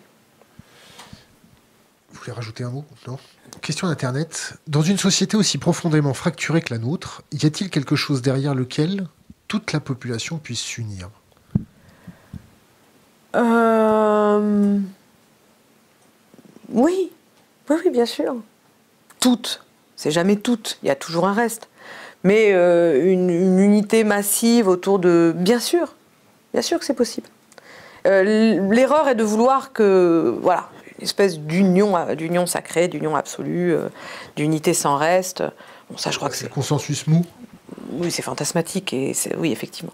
Mais on a vu ce fantasme déchaîné au moment du premier confinement, avec toutes ces, ces tribunes sur le monde d'après quelle naïveté de s'imaginer que ah ça y est, le les gens avaient compris que la, valeur c'était la santé, la solidarité, que magiquement, grâce à ce magnifique confinement dans lequel nous entendions enfin les oiseaux, nous allions tous sortir de là unis. Enfin bon, c'était à pleurer. Donc effectivement, effectivement, c'est pas possible.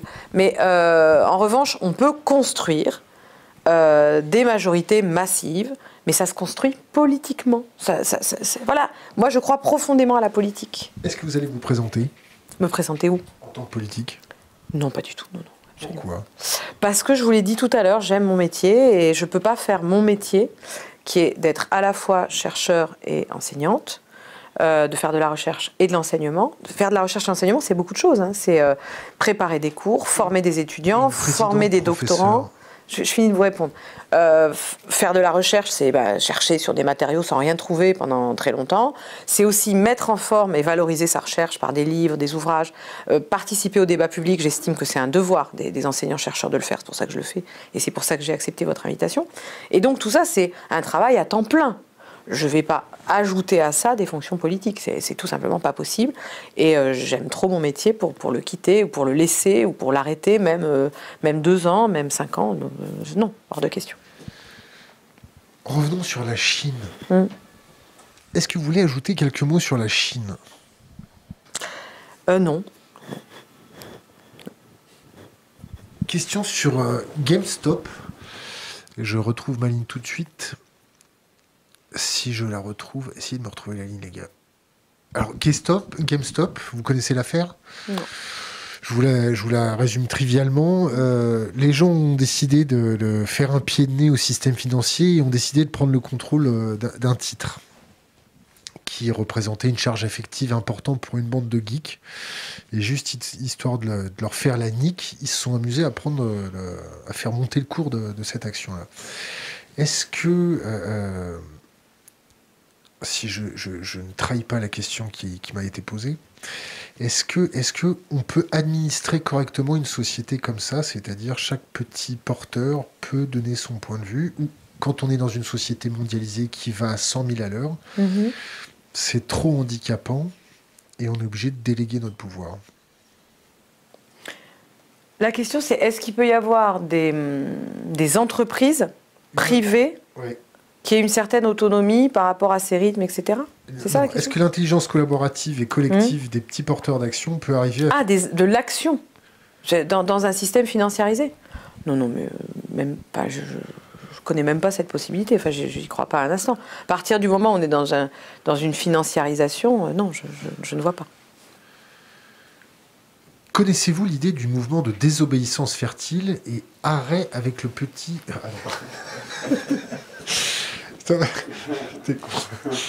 Connaissez-vous l'idée du mouvement désobéissance fertile En gros, s'accaparer les espaces pour les enrichir et les aggrader.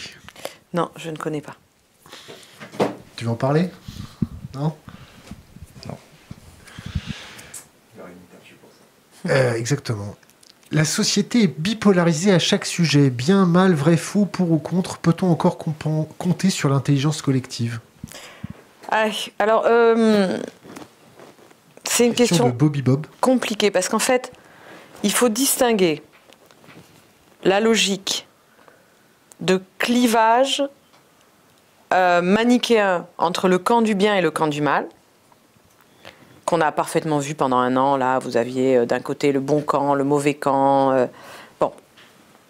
et qui est la logique, entre autres, d'Emmanuel Macron, mais il est loin d'être le seul, hein, quand il vous explique qu'il y a d'un côté les populistes et de l'autre les mondialistes, c'est comme ça qu'il est venu au pouvoir. Hein.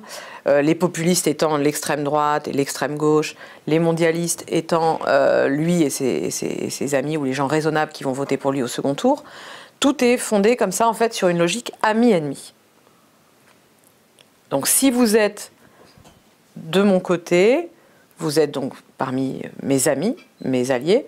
Si vous n'êtes pas de mon côté, c'est donc que vous êtes euh, du côté des ennemis. C'est la rhétorique de George Bush. Soit vous êtes avec nous, soit vous êtes contre nous. Mais c'est au-delà de ça. Hein. Vous avez par exemple euh, Chantal, Mouffe et, oui, oui, qui a, qui a beaucoup, euh, qui pèse encore beaucoup aujourd'hui dans une certaine gauche, et Ernesto Laclos qui qui s'appuie là-dessus, qui considère que le champ politique c'est structuré par des clivages type ami-ennemi. Moi, je suis en désaccord avec cette perspective, euh, ce que semble dire euh, cet, euh, auditeur, mais en revanche, je pense qu'il faut assumer le fait que quand il y a une délibération démocratique, il y ait une voix qui se dégage et une autre voix qui se dégage en face. Les deux voix ne sont pas d'accord. Donc je suis complètement à l'aise avec l'idée que tout ne marche pas par des consensus et que par moment, il y a deux voix qui sont en désaccord, qui s'affrontent mais je refuse qu'on transforme ce dissensus démocratique qui est indispensable à une vie démocratique, avec des gens qui vont voter pour, des gens qui vont voter contre, en une relation ami-ennemi. Et c'est exactement ce que fait euh, le pouvoir actuel, qui est en train, en, imposant cette logique ami-ennemi partout, qui est en fait une logique qui, est théorisée par Carl Schmitt, je le rappelle, euh, un juriste euh, donc, euh, qui, a, qui a collaboré euh, activement euh, au régime nazi. Hein. Donc voilà, c'est quand même de là que ça vient au départ. quand on entre dans cette logique-là, forcément, on entre dans une logique qui, encourage la sédition. C'est pour cette raison que je considère, entre autres, entre autres, mais c'est pas la seule, que euh, Emmanuel Macron et ses alliés euh, sont des gens qui sont vraiment des adversaires de la, République, vraiment. Parce qu'ils euh, sont du côté de la sédition. Et c'est pour ça aussi qu'ils ont les universités dans le viseur, parce que les universités sont des lieux où on peut débattre de manière, je dirais pas amicale, sans arriver jusqu'à la filia d'Aristote, l'amitié chez Aristote, hein, de la cité grecque, sans arriver jusqu'à de telles extrémités du type amitié d'une communauté, mais simplement euh, le fait qu'on puisse débattre en se respectant, euh, qu'un corps de citoyens, que des citoyens assemblés puissent débattre, ne pas avoir le même avis sans, virer à l'invective, l'anathème, etc. Il y a des lieux encore comme ça, euh, comme les universités, et précisément, ou certains médias. Et précisément, ce n'est pas pour rien si on est on est dans le viseur, parce qu'en fait, il s'agit d'éliminer tous ces lieux-là qui permettent d'avoir une pensée nuancée, d'avoir euh, effectivement de la conflictualité et du dissensus euh, euh, sous des formes parfaitement civiles et civilisées. Et à la place, donc, on, a, on entre dans des logiques de, sédition et de destruction de, quelque chose comme une cohésion républicaine. Vous avez quel rapport avec la violence et dans la résistance? Est-ce qu'il faut, faut revenir à nos vieilles traditions françaises euh, c'est-à-dire jeter la table par terre et demander des comptes, euh, et quitte à demander des comptes mettre en, mettant des têtes sur des pics?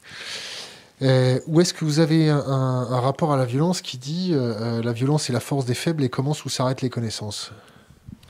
Moi, mon obsession, c'est d'essayer d'éviter la violence. Est-ce qu'on va pouvoir? Ah ça, j'en sais rien du tout. Ça, j'en sais rien. Mais c'est l'idée. L'idée, c'est qu'au lieu qu'on soit acculé à, euh, à, cette sédition dont je parlais, à ces, voilà, bah, c'est précisément de reprendre, ce que, comme je disais au début, l'hypothèse démocratique pour que euh, la colère euh, sociale que je partage soit transformée en autre chose et, que le pouvoir circule, bien sûr. C'est quoi la différence entre une révolte et une révolution?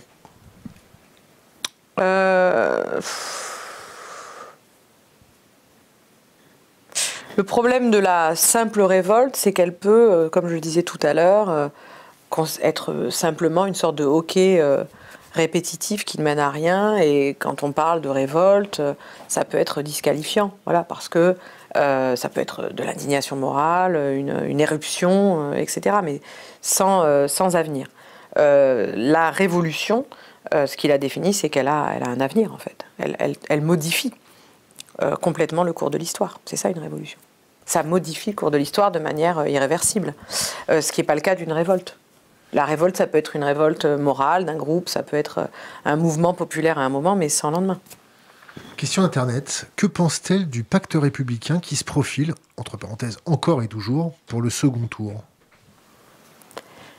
Euh, Je crois l'avoir dit. Je crois l'avoir dit.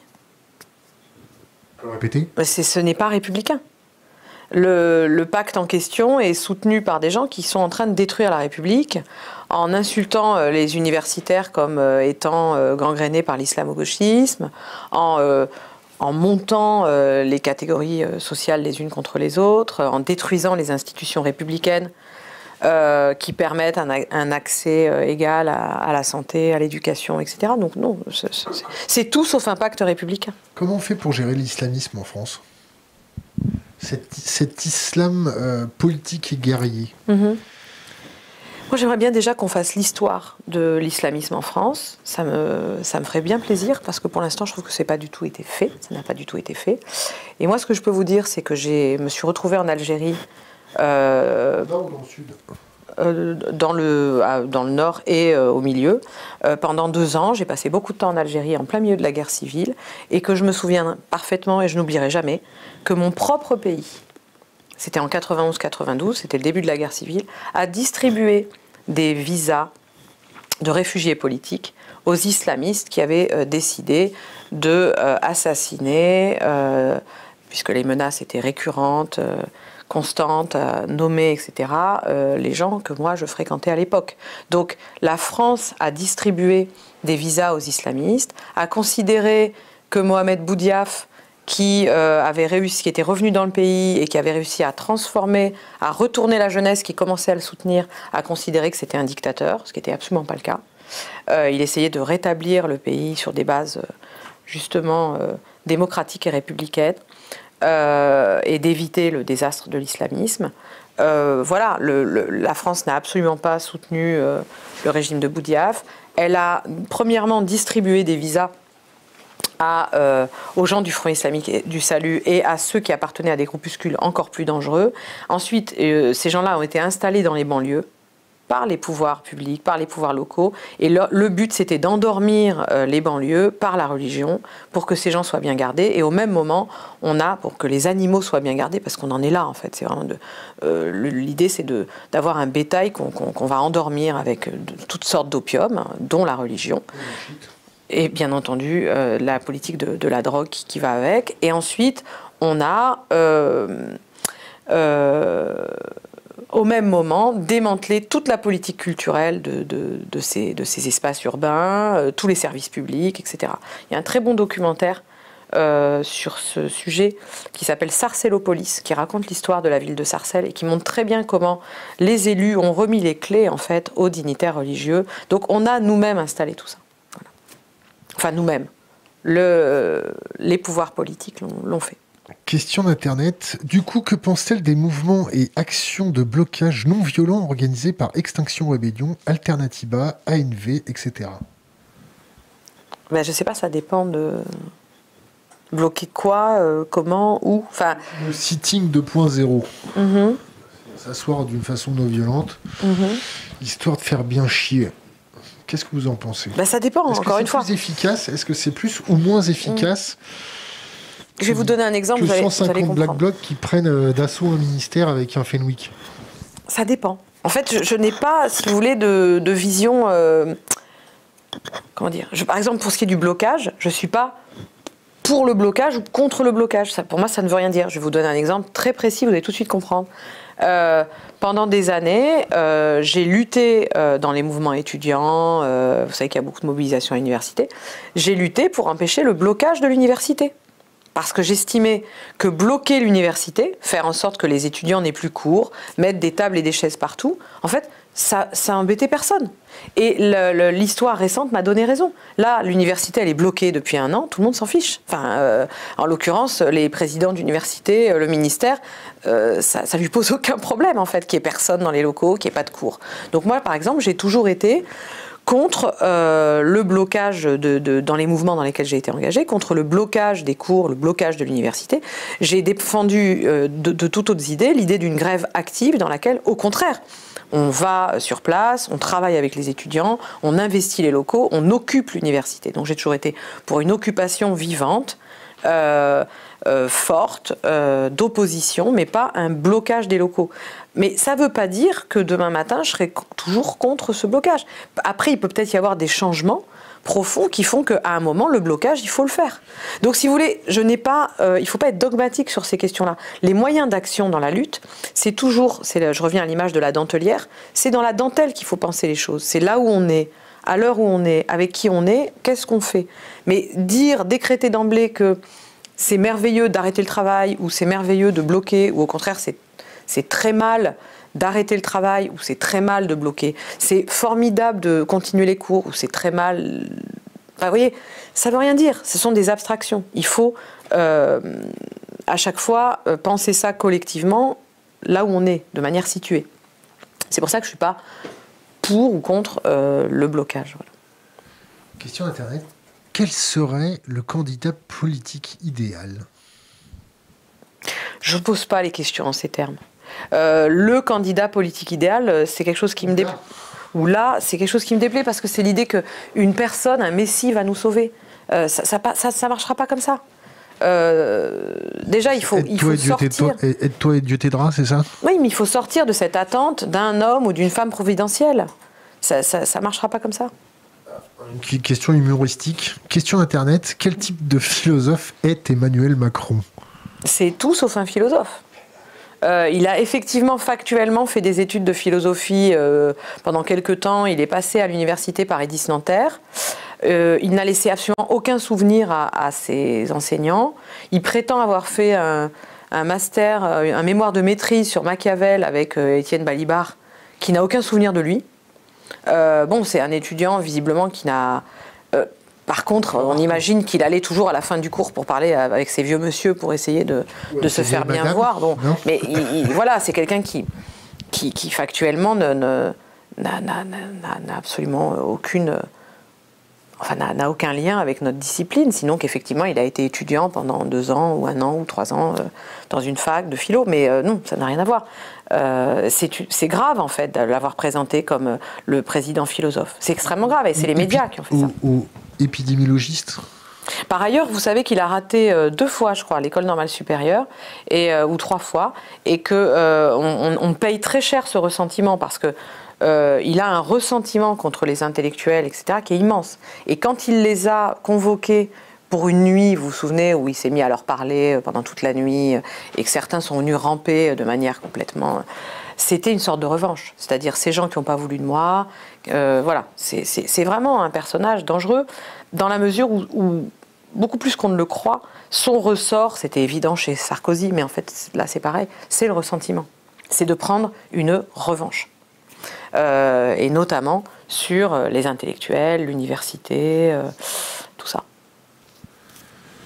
Que se passerait-il si un Napoléon Bonaparte reviendrait au pouvoir Revenait au pouvoir Là, c'est pareil.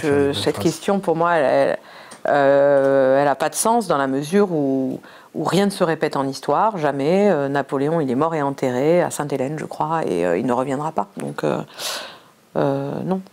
Qu'est-ce que vous pensez des dîners rue Vivienne? Alors, c'est quoi les déjeuners là, là où la haute fait bombance pendant que. Euh, les fameux dîners cachés, là? Ouais, le, tripot rue Vivienne. Euh, donc en gros, ils ont euh, un restaurant caché, c'est ça, avec des cartes bleues, des choses, c'est ça Il n'y a pas de carte bleue, non. Oui, enfin, ils payent en cash. c'est cette histoire-là qui est sortie il y a 15 jours, c'est ça Qu'est-ce que j'en pense? Vous avez fait des dîners dans des restaurants clandestins? Euh, non, bien sûr que non. Non, non, il n'y a pas de restaurant clandestin à Bordeaux. Enfin, pas, que je sache. Que des restaurants Non, ils sont fermés. Euh, il n'y a pas de restaurant clandestin. Enfin, si, peut-être, euh, des choses vraiment, alors, très... Non, il n'y en a pas. même à Paris, je, connais beaucoup de monde à Paris. je ne connais pas de gens qui, qui fréquentent des restaurants clandestins, non. Ah non, mais moi, hein, peut-être que vous, vous en connaissez. Ah non, mais vous me posez des questions personnelles. Je, vous dis que moi, je ne suis pas occupée à ça en ce moment. Euh, non, j'en sais rien. Qu'est-ce que j'en pense? Vous voulez, c'est désolant. Qu'est-ce qui est désolant là-dedans? Bah, Beaucoup de choses. Il y a du travail dissimulé. maintenant, est-ce que ça m'a étonné et choqué? Mais, mais, ça m'a absolument pas étonné. Toutes ces gens n'ont pas besoin d'aller jusqu'à ces dîners. En fait, ont une vie euh, qui n'a presque pas changé en fait. Ils vivaient en fait avant en vase clos, ils étaient déjà servis par des domestiques euh, ou livrés. Euh, c'est des gens, ils vont pas dans les magasins, ils vont pas au restaurant, ces gens-là. Donc ils vivaient déjà comme ça. Eux, ça, ça, change rien pour eux, cette nouvelle manière de vivre. C'est exactement la même chose. quand Emmanuel Macron voit, voit le, désarroi des gens, il répond écoutez, c'est rien, faites-vous livrer. C'est normal, pour lui, ça, ne change strictement rien. Donc ils ont effectivement des, soirées tous les soirs, des voilà. Prenez un exemple, pensez à une chose très simple. Roselyne Bachelot, que j'ai visée expressément dans le tract de la démocratie en pandémie, c'est pas pour rien. Rappelez-vous, eh ben, rappelez-vous de ce qu'elle faisait au moment du premier confinement. Elle avait, vous savez, elle a toujours de très beaux rouges à lèvres. Euh, elle, a, toujours un rouge à lèvres euh, très, très voyant. Euh, elle aime bien s'habiller avec des choses très bien. Elle a toujours un très beau rouge à lèvres. Elle a un très beau sourire. Elle a une tête très sympathique d'ailleurs. Elle allait tous les soirs ou trois fois par semaine discuter et rigoler en fait avec des gens donc, sur les plateaux, sans masque, en expliquant aux gens que dans toutes circonstances, et surtout en un lieu fermé, il faut mettre son masque. Mais elle n'en avait pas. Enfin, il y a un moment, euh, si vous voulez, ce qu'ils disent pour le, bon peuple, ces gens-là, ne s'appliquent pas à eux. Ils sont, ils s'acceptent en fait. Moi, effectivement, à l'heure où je vous parle, là, je n'ai pas de masque. Mais est-ce que je donne Comment Vous êtes à 3 mètres. Oui. Et est-ce que je donne des leçons de, maintien euh, aux gens Pas du tout. Je leur dis pas, euh, en toutes circonstances, vous devez absolument, euh, dans un lieu clos, mettre un masque. Donc, en fait, ce qui se passe, c'est qu'on a des, des, tonnes de gens qu'on voit à la télévision qui ne mettent pas de masque depuis le début et qui nous expliquent qu'il faut absolument tout le temps mettre un masque. Comment c'est possible? Ce n'est pas cohérent. Donc, euh, elle a, euh, elle par exemple, mais on pourra citer plein d'autres, passé son temps en fait à traverser Paris, à prendre le taxi, j'imagine, euh, trois fois par semaine, quand les gens étaient enfermés chez eux. Et elle, si vous voulez, elle avait une vie professionnelle, elle, elle, discutait, elle échangeait avec ses journalistes, ses chroniqueurs. Elle avait une vie, si vous voulez, sociale extrêmement bien remplie. Elle a fait campagne pour son poste qu'elle a d'ailleurs obtenu de ministre de la Culture à la même, par la même occasion. Et si vous voulez, elle n'a jamais été confinée. Donc ces gens-là n'ont jamais été confinés. Le confinement, ils ne savent pas ce que c'est. Vous vous rappelez des, déclarations d'Agnès Buzyn hum Oui, bien sûr. Quand vous avez vu ça euh, ah bah, Quand elle a... Vous parlez de quelle déclaration? Bah, Tout va bien, tout est sous contrôle. Ah oui. Bah, si vous voulez, moi, jusqu'au euh, au dernier jour avant le confinement, pour moi, il n'y avait pas de problème. Moi, si vous voulez, jamais j'aurais pu imaginer qu'il y avait un tel déni au niveau des autorités sanitaires. J'ai participé à un forum Santé et Avenir à Bordeaux. Il y avait toutes les huiles du monde sanitaire de Bordeaux. Il y avait le DG du CHU. Tout le monde était là, je veux dire. Tout le monde était là.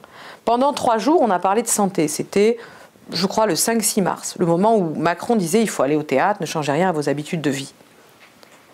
Nous, pendant ces trois jours, on n'a pas parlé une seule fois de ce virus chinois.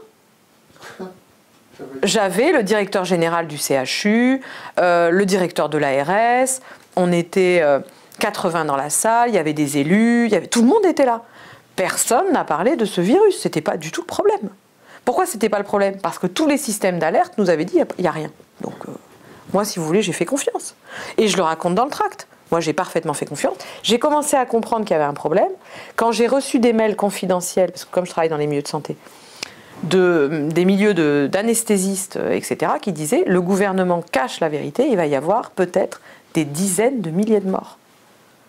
Là, j'ai commencé à dire comment c'est possible. Donc, des mails que j'avais pas du tout à, lire, qui m'ont été transmis. C'est dans le milieu, en fait, des, chercheurs.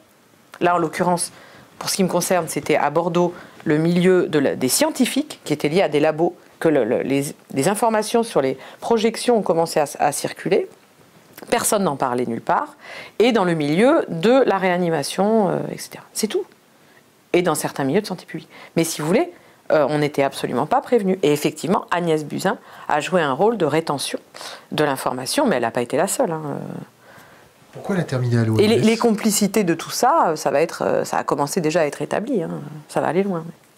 On va, on va faire un procès de ça, de la gestion de crise? Alors sur le plan euh, juridique, je ne sais pas où ça en est, mais en tout cas, c'est en cours. Traîné en justice. Bah, c'est en cours, hein. de toute façon, c'est en, c'est en cours. Euh, Salomon, Salomon a falsifié des documents, tout, est, tout est établi. Vous avez les preuves? Pas moi, mais je veux dire, c'est sur la place publique. C'est sorti dans les journaux, il euh, n'y a, aucun doute là-dessus. C'est magnifique qu'on en arrive là. Oui. C'est quoi? C'est une décadence, c'est chacun défend son petit précaré, c'est de la soumission.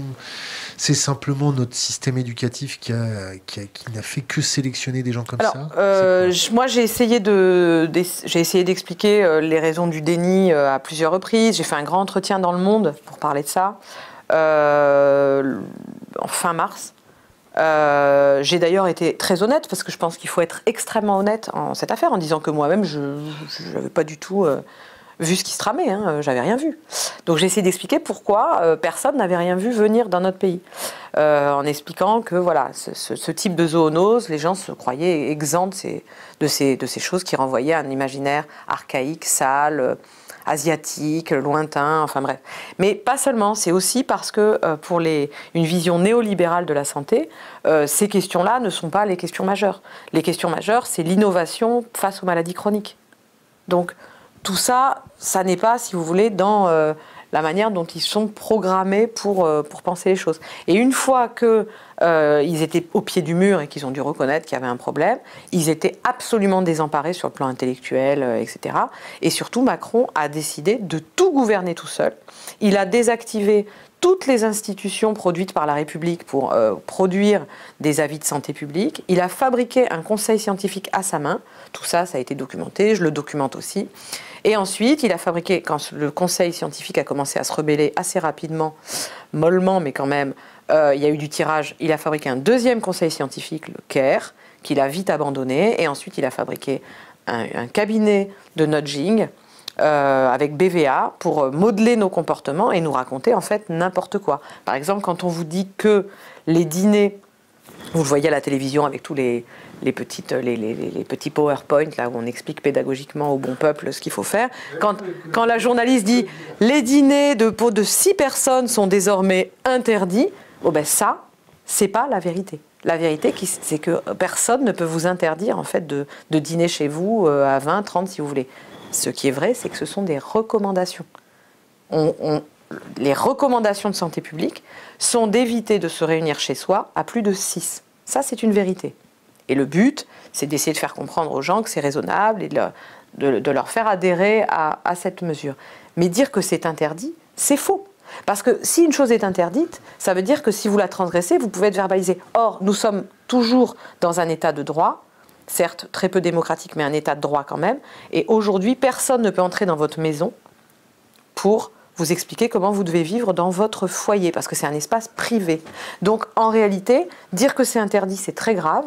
Et euh, n'importe quel professeur de philosophie de terminale ou de professeur de droit de première année devrait l'expliquer aux élèves ou aux étudiants. C'est la négation de ce qu'est le droit. Euh, comprendre ce qu'est le droit, c'est savoir, par exemple, faire la différence entre une recommandation, la norme dans une entreprise et une loi. Et quand on mélange tout ça, il n'y a plus d'état de droit. C'est la négation de l'état de droit. Donc aujourd'hui, vous avez euh, un discours médiatique qui dit n'importe quoi, donc qui vous explique que, par exemple, dîner à 7 chez soi, c'est interdit. C'est faux. Et quand ils reconnaissent que c'est, ça leur arrive parfois dans leurs débats, parce que j'écoute beaucoup, moi, ces débats, c'est un peu mon matériau de travail, entre autres. Quand, euh, oui, c'est assez pénible, mais bon, voilà, le chercheur choisit pas forcément par, euh, par goût et, plaisir euh, ses objets de travail. Hein. on, est aussi obligé de, se taper un peu de, la matière négative pour, de la merde hein, chez nous. pour, pour, affronter. Mais effectivement, je, je, connais très très très bien ce discours-là. Et donc, pour les plus honnêtes d'entre eux, euh, c'est, euh, mais de toute façon, le gouvernement ne va pas pouvoir empêcher euh, le dimanche les rendez-vous avec la grand-mère à 12. Et, dans ces cas-là, ce qu'on entend, c'est, et, il faut le déplorer. C'est-à-dire que le discours ambiant, c'est en finir avec l'état de droit, comme en Chine, pour pouvoir tout réglementer, y compris ce qui se passe à l'intérieur des espaces privés vous m'en vous sur ma prochaine question, sur la surveillance de masse. Mhm. Le fait que euh, récemment, euh, l'État ait, légalisé la, conservation de toute toutes les URL que vous avez consultées sur Internet, et j'en passais des meilleurs. Ça vous inspire quoi? Qu'est-ce qu'il faut faire face à ça? Quand est-ce que ça va s'arrêter? Est-ce que c'est une façon de de gérer l'élevage de poulets, parce que je, vais faire une comparaison, c'est notre société ressemble à un, élevage de poulets. Il y a une pandémie, bah, normalement il faut vacciner tout l'élevage de poulets en même temps. comme on a une bande de branquignoles, bah, on n'est pas capable de le faire, donc euh, bah, on se retrouve dans, la mouise.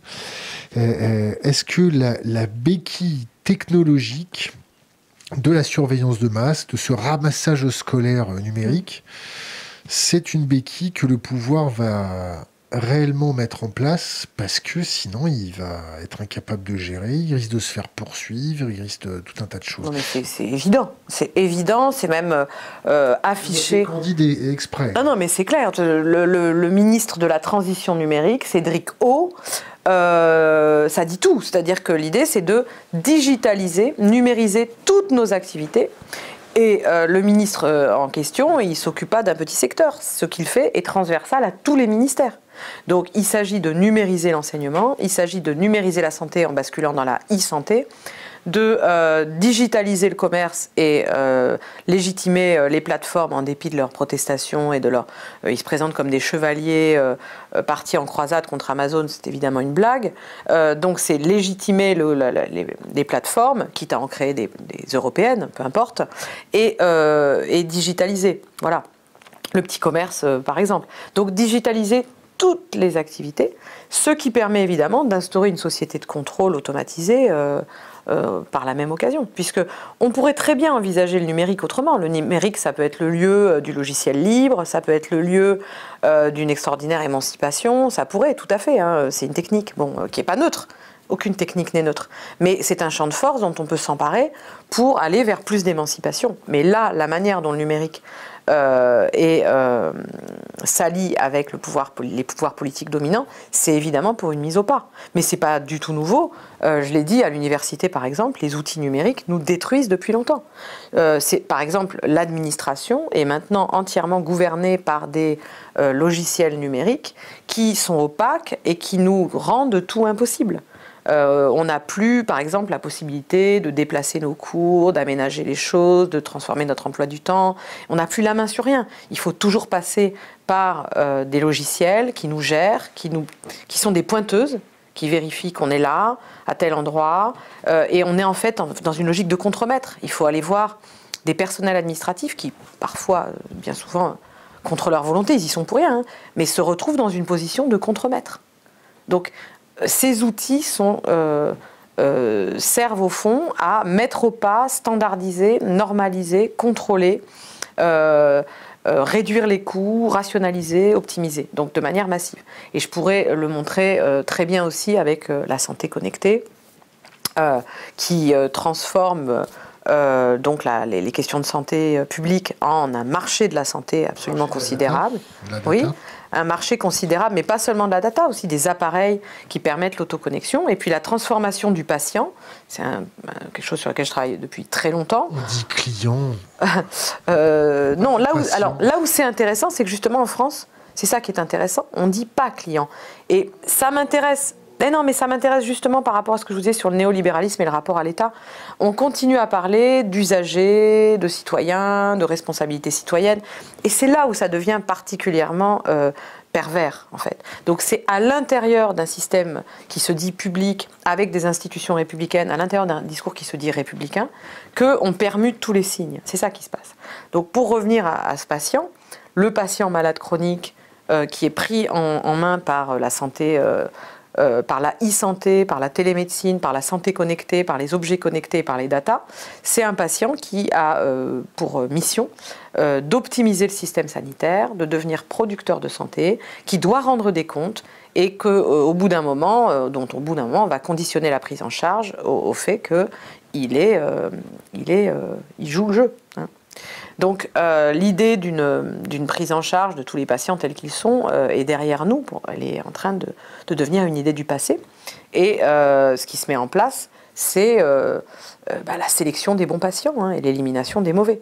Hein. donc avec un modèle qui n'est pas exactement le modèle américain clairement mercantiliste hein, ou, marchand. C'est un modèle qui, est, qui, est, qui, se, qui se décline avec le langage de l'État, avec le langage de la, des politiques publiques, avec le langage de la santé publique, avec le langage de la citoyenneté. Et c'est là où il faut apprendre à décrypter ce qui se passe. Mais en tout cas, le numérique est l'un des leviers, effectivement. Question Internet. Euh, vis-à-vis de sa position sur le sacrifice, est-elle familière avec la thèse de René Girard, selon laquelle la violence est inévitable dans une société parce qu'il est dans la nature humaine de désir, de désirer de façon mimétique ce qui crée de la rivalité, donc de la violence qui doit se déverser quelque part le tout contre un, plutôt que le tout. Ah, le tous contraint plutôt que le tous contre tous Alors, je connais un peu les, thèses de, René Girard. Je, ne suis absolument pas d'accord parce qu'en fait, je, ne crois pas du tout qu'il y ait euh, une nature humaine qui nous prédispose de manière figée à ceci ou cela. Euh, je m'intéresse beaucoup aux, philosophes qui sont naturalistes et qui veulent réfléchir.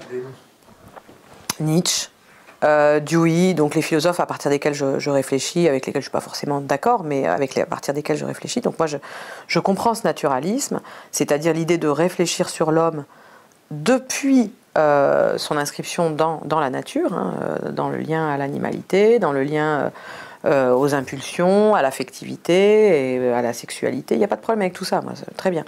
Simplement, s'imaginer, une fois qu'on a dit ça, qu'on euh, sait ce qu'est la nature de l'homme au sens de son essence, et que par exemple l'homme serait bon par nature, ou, euh, ou méchant par nature, ou euh, violent par nature, ou dans, par nature dans la rivalité, non. En fait, c'est malheureusement J'en suis désolée, mais beaucoup plus compliqué que ça. Et je crois qu'effectivement, que effectivement, il y a un leg naturel. Nous sommes faits de cellules, nous sommes faits d'impulsions. Nous avons au début de notre vie, quand on arrive au monde, euh, on a en fait des restes instinctifs euh, effectivement qui vont vite régresser, comme par exemple l'instinct de succion qui va pas euh, pour, bah, pour l'allaitement et qui va pas durer bien longtemps. Donc on a, on a, on a, on a effectivement voilà, des dispositions qui nous rappellent qu'on est inscrit dans l'animalité considérer qu'il faut se penser euh, à partir d'un autre monde qui serait le monde des idées, etc., me semble complètement euh, fou et faux. Mais euh, une fois qu'on a dit ça, l'animal humain, du fait de sa néoténie, du fait qu'il est larvaire, qu'il n'est pas bien fini, du fait que voilà, tout ça, ça a été largement étayé par l'anthropologie, etc. Il est essentiellement socialisé. Et donc ça va passer par la culture. Et donc le discours de René Girard ne va pas parce que euh, euh, ça dépend de la société dans laquelle euh, on grandit. Donc non. Question Internet, quels médias conseillez-vous? Quels médias je conseille? Alors, je conseille d'abord vraiment de, lire les grands médias. Les médias qui ont pignon sur rue, qui sont connus. Je pense que c'est extrêmement important de, comme on dit, lire le journal. Euh, lire les journaux plutôt, et euh, de regarder la télévision. Le journal. Voilà, je pense que c'est très important que les gens lisent les journaux et regardent la télévision, qu'ils essaient de voir ce que les autres voient. Alors c'est très difficile parce que on n'a plus le phénomène du 20 h où euh, on avait un public qui massivement regardait tout le monde à 20 h la même, le même journal, etc. ça c'est un peu, on va dire, ça s'est même, euh, j'ai envie de dire, presque tribalisé. C'est-à-dire qu'il y, a des, groupes, des tribus, etc. Mais quand même, euh, il n'y a pas besoin d'avoir fait de longues études de sociologie pour voir que euh, bah, telle, et telle télévision a beaucoup d'audience, tel et tel euh, euh, journal est très lu et encore très lu. Il suffit de regarder les chiffres. Hein. Il y a encore du des tirages. Sur Internet, tel ou tel journal est très lu. Euh, il y a les, médias alternatifs comme le vôtre. Et c'est pas très compliqué de voir les, audiences. On peut se renseigner. Et donc, il faut surveiller un peu tout ça pour essayer de ne pas rester dans son point de vue et celui de sa tribu ou de, ses, ou de sa communauté ou de sa bande de copains, mais d'avoir une vision plus globale, qui sera jamais. Il faut attention, se faire violence pour ça. Ah oui, bien sûr. Qui sera jamais, euh, qui sera jamais une vision euh, évidemment exhaustive. Euh, vous voyez, synoptique, qui serait celle de Dieu, mais qui sera quand même l'effort pour essayer de voir d'autres points de vue. C'est fondamental. C'est ça? Comment? Vision à 360. Je sais pas, je ne vous donnerai pas de chiffres, mais en tout cas, faire cet effort. Et moi, ce que je constate et ce qui m'inquiète beaucoup, c'est que les, beaucoup d'étudiants, pas tous, mais beaucoup d'étudiants, et notamment les étudiants mobilisés, ne sont même pas au courant de ce qui se passe dans les actualités nationales. Ils ne regardent pas. Ils sont... il faut les comprendre. Ils ont déjà le mal à, sûr, ils ont déjà je, mal à manger. Ils ont du mal à. Je les comprends très bien. simplement, simplement, je pense que c'est euh, fondamental de se tenir au courant de ce qui se passe aussi au niveau national, même si c'est dur à saisir, je l'entends. Mais c'est fondamental parce que l'idée, c'est d'arriver à essayer de recréer un espace public. Donc d'éviter une forme de, sédition euh, cognitive où chacun est en fait dans sa tribu. Donc c'est fondamental cette affaire. Est-ce qu'il faut se faire violence? Oui, parce que en fait l'idée n'est pas d'aller suivre ses amis, ce n'est pas de follower euh, ses friends, pour euh, paraphraser le vocabulaire des réseaux. Oui, ses friends? Bah, suivre, être followers de, de ses amis. Ça, ça nous vient des Américains. Bon, voilà. Donc c'est pas ça qu'il faut faire. Bien sûr qu'il faut avoir des camarades de lutte, des complices, des amis, des proches, une famille, très bien. Mais euh, il faut faire de la politique et donc il faut essayer de faire le tour de la cité. Et faire le tour de la cité, c'est effectivement en prendre sur soi à supporter des discours qu'on n'a pas forcément envie d'entendre. Mais c'est ça, habiter dans une cité euh, commune. Euh, donc effectivement, moi, avec une certaine limite sur le plan, parce que je tiens aussi à ma santé, effectivement, je m'ingurgite au niveau hebdomadaire des doses assez conséquentes de discours de gens avec lesquels je ne suis pas d'accord. Mais voilà, je, pense que c'est extrêmement important euh, voilà, de ne pas quitter ce terrain-là et de faire face. Et c'est ensuite ce qui me permet de démonter leurs arguments parce que je les connais. Et ça peut être des arguments de gens euh, euh, très sympas, avec lesquels finalement je vais être allié plus tard. Enfin voilà, il n'y a pas la logique ami-ennemi. C'est pas ça c'est faire le tour de tous ces points de vue conflictuels, euh, euh, parfois même qui vont jusqu'à euh, des choses, des véritables dangers pour la cité. Là, je vous en ai, je vous ai énuméré un certain nombre de gens que j'estime profondément dangereux, à commencer par ceux qui sont actuellement au gouvernement. Mais le but, c'est de ne pas en arriver là, c'est-à-dire d'être capable d'assumer euh, des désaccords, des conflits intellectuels, euh, des désaccords sur la méthode, d'être capable d'aller loin dans le désaccord euh, et, de s'en remettre, d'être capable d'affronter des conflits sans que ce soit une guerre. Accordons-nous sur ce désaccord. Question Internet, l'université n'est-elle pas une salle d'attente avant la découverte du chômage? Alors, les études sociologiques dont on dispose aujourd'hui sont unanimes plus vous avez fait des années d'études supérieures, plus vous êtes protégé contre le chômage. Donc, le choix plus ou moins conscient euh, euh, des, citoyens d'aller vers l'enseignement supérieur, parce qu'ils y vont massivement, euh, les familles vont massivement vers l'enseignement supérieur, et c'est diverses formes, il y a plein de formes d'enseignement supérieur, l'université n'est pas la seule, mais l'université c'est massif, c'est quelque chose en fait d'assez raisonnable. En gros, plus votre enfant aura fait de longues études, moins il, sera, il risquera d'être sans emploi. Donc en fait, j'insiste là-dessus, parce que c'est une contre-vérité à laquelle malheureusement croient beaucoup d'universitaires qui s'imaginent qu'en fait ils conduisent leurs étudiants chez Pôle Emploi. Mais c'est pas vrai, c'est pas la réalité. On devrait être beaucoup plus fiers de ce qu'on fait. Euh, on ne conduit pas les étudiants au désastre on euh, leur donne en fait euh, toutes sortes de capacités ensuite qui vont euh, leur servir et qui de fait leur servent dans le, dans le monde du travail. donc c'est en fait une manière de disqualifier une fois de plus l'université que ce discours sur la fac mène au chômage. Que pense-t-elle des réunions non mixtes? Les réunions non mixtes. écoutez, honnêtement, ça m'intéresse absolument pas. que des euh, femmes veulent discuter entre elles pour des problèmes qu'elles ont vécus en tant que femmes, que des personnes euh, euh, victimes de racisme veuillent discuter entre elles. Mais il n'y a aucun problème, je m'en fiche complètement en fait, ça ne me dérange pas du tout. Enfin, en fait, je trouve délirant qu'il y ait eu ces débats en fait. Je trouve ça délirant, complètement délirant.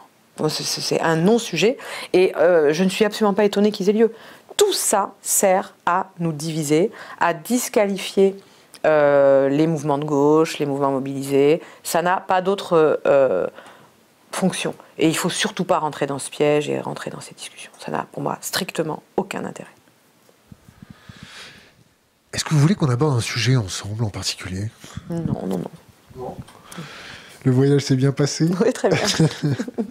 J'ai un peu mal aux yeux parce que la, la lumière, qui veut me faire parler fait très mal aux yeux. Est-ce que vous avez trois bouquins à conseiller à notre communauté? Alors, un, livre que j'ai commencé à lire, là, donc je ne peux pas me prononcer sur tout le livre parce que j'ai juste lu euh, la première euh, section, le premier chapitre, c'est euh, Penser en Chine, de, un folio de chez Gallimard, qui était dirigé par Han Cheng, je crois.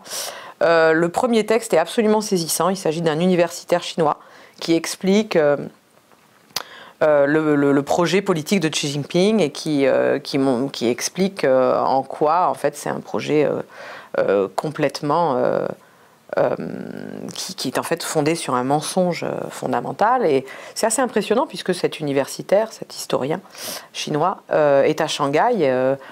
voilà, il, ose comme ça démonter la politique de Xi Jinping de manière assez impressionnante. et ça, ça m'a l'air extrêmement robuste, oui, cette, cette analyse. Alors, encore une fois, je ne suis pas du tout qualifiée pour en, juger. Voilà. Mais je trouve ça extrêmement intéressant. Donc oui, je conseille cette lecture. J'ai une question Internet mm. euh, de Sod.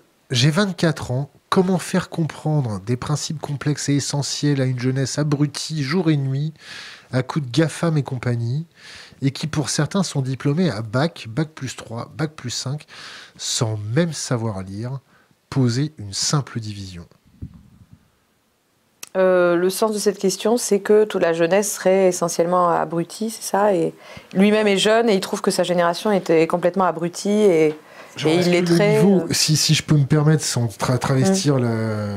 l'idée de, de l'auditeur, mm-hmm. est-ce qu'on n'est pas arrivé à un niveau où les gens sont devenus complètement crétins, complètement égoïstes, complètement bah, bercés à coups de télé-réalité débiles mentaux toute la journée. Mhm. Euh, euh, est-ce que le niveau est tellement bas? Est-ce que Alors, deux éléments de réponse. La faiblesse psychologique que la société induit sur ces mhm. gens mhm. les met en catatonie émotionnelle.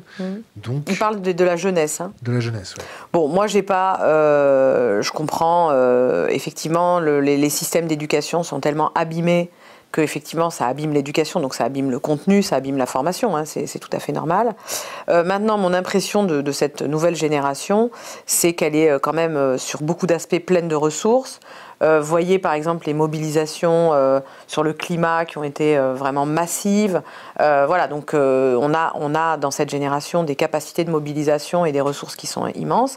Moi, il m'arrive. alors j'ai effectivement une vision un peu comme on dirait aujourd'hui, biaisé, puisque les gens qui, viennent jusqu'à moi sont des gens qui, sont, euh, qui ont le bac et qui ont choisi plus ou moins, plus ou moins, parce que Parcoursup parfois les a envoyés là sans qu'ils aient rien demandé à personne, mais on va dire que plus ou moins ils ont mis le mot philosophie dans leur choix. Donc évidemment, c'est pas, euh, je n'ai pas devant moi euh, tout, des exemplaires de toute la jeunesse de, France, mais j'ai devant moi des gens qui ont des, parfois un niveau scolaire extrêmement faible euh, ça arrive beaucoup. Hein, euh, et euh, ce que je vois, c'est que quand il y a une prise en main pédagogique sérieuse et radicale, pour reprendre l'expression de tout à l'heure, on arrive à, des choses assez rapidement. C'est impressionnant.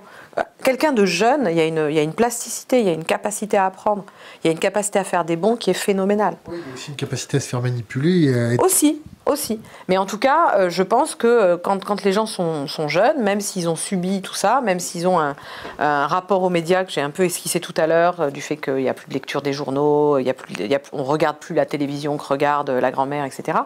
Même si tout ceci pose problème, on peut faire encore beaucoup de choses. Et par ailleurs, sur le niveau général, euh, d'éducation euh, de la population, sans parler de la jeunesse, mais plus généralement, mon euh, point de vue est qu'en fait, il y a un niveau d'éducation assez élevé. Il y a une demande de, réflexion qui est énorme. C'est pas pour rien qu'on a obtenu que les librairies restent ouvertes. Ça, c'est encore une victoire des citoyens de ce pays qui ont réussi à imposer à ce gouvernement qui, qui règne de manière extrêmement rude l'ouverture des librairies c'est quand même une conquête, hein, il faut le, il faut le, saluer. Euh, il y a une demande énorme sur, sur, sur les livres, sur les festivals, sur... Voilà, c'est massif. Euh, l'impression que j'ai est plutôt qu'on a une population qui euh, est très éduqué et, relativement bien éduqué. En tout cas, il y a eu un élèvement général, ça aussi c'est documenté par la sociologie, euh, du niveau d'éducation euh, de la population, du fait, bah, du fait, je finis juste, de l'augmentation des, des, études, etc. Et en même temps, moi ce qui me frappe, c'est, et là où je veux bien dire que le niveau baisse, c'est pour ceux qui ont des responsabilités, qui sont passés, on est passé de responsables institutionnels ou politiques qui avaient euh, un langage châtié, qui était cultivé, qui avait euh, voilà toute une sorte de une véritable formation, à euh, des gens dont on se demande si c'est possible qu'ils soient élus. Voilà. Ou qu'ils soient. tout, le monde, tout le monde voit très bien de, de, de, qui je parle, c'est-à-dire l'essentiel du, du, personnel politique qui est en vue.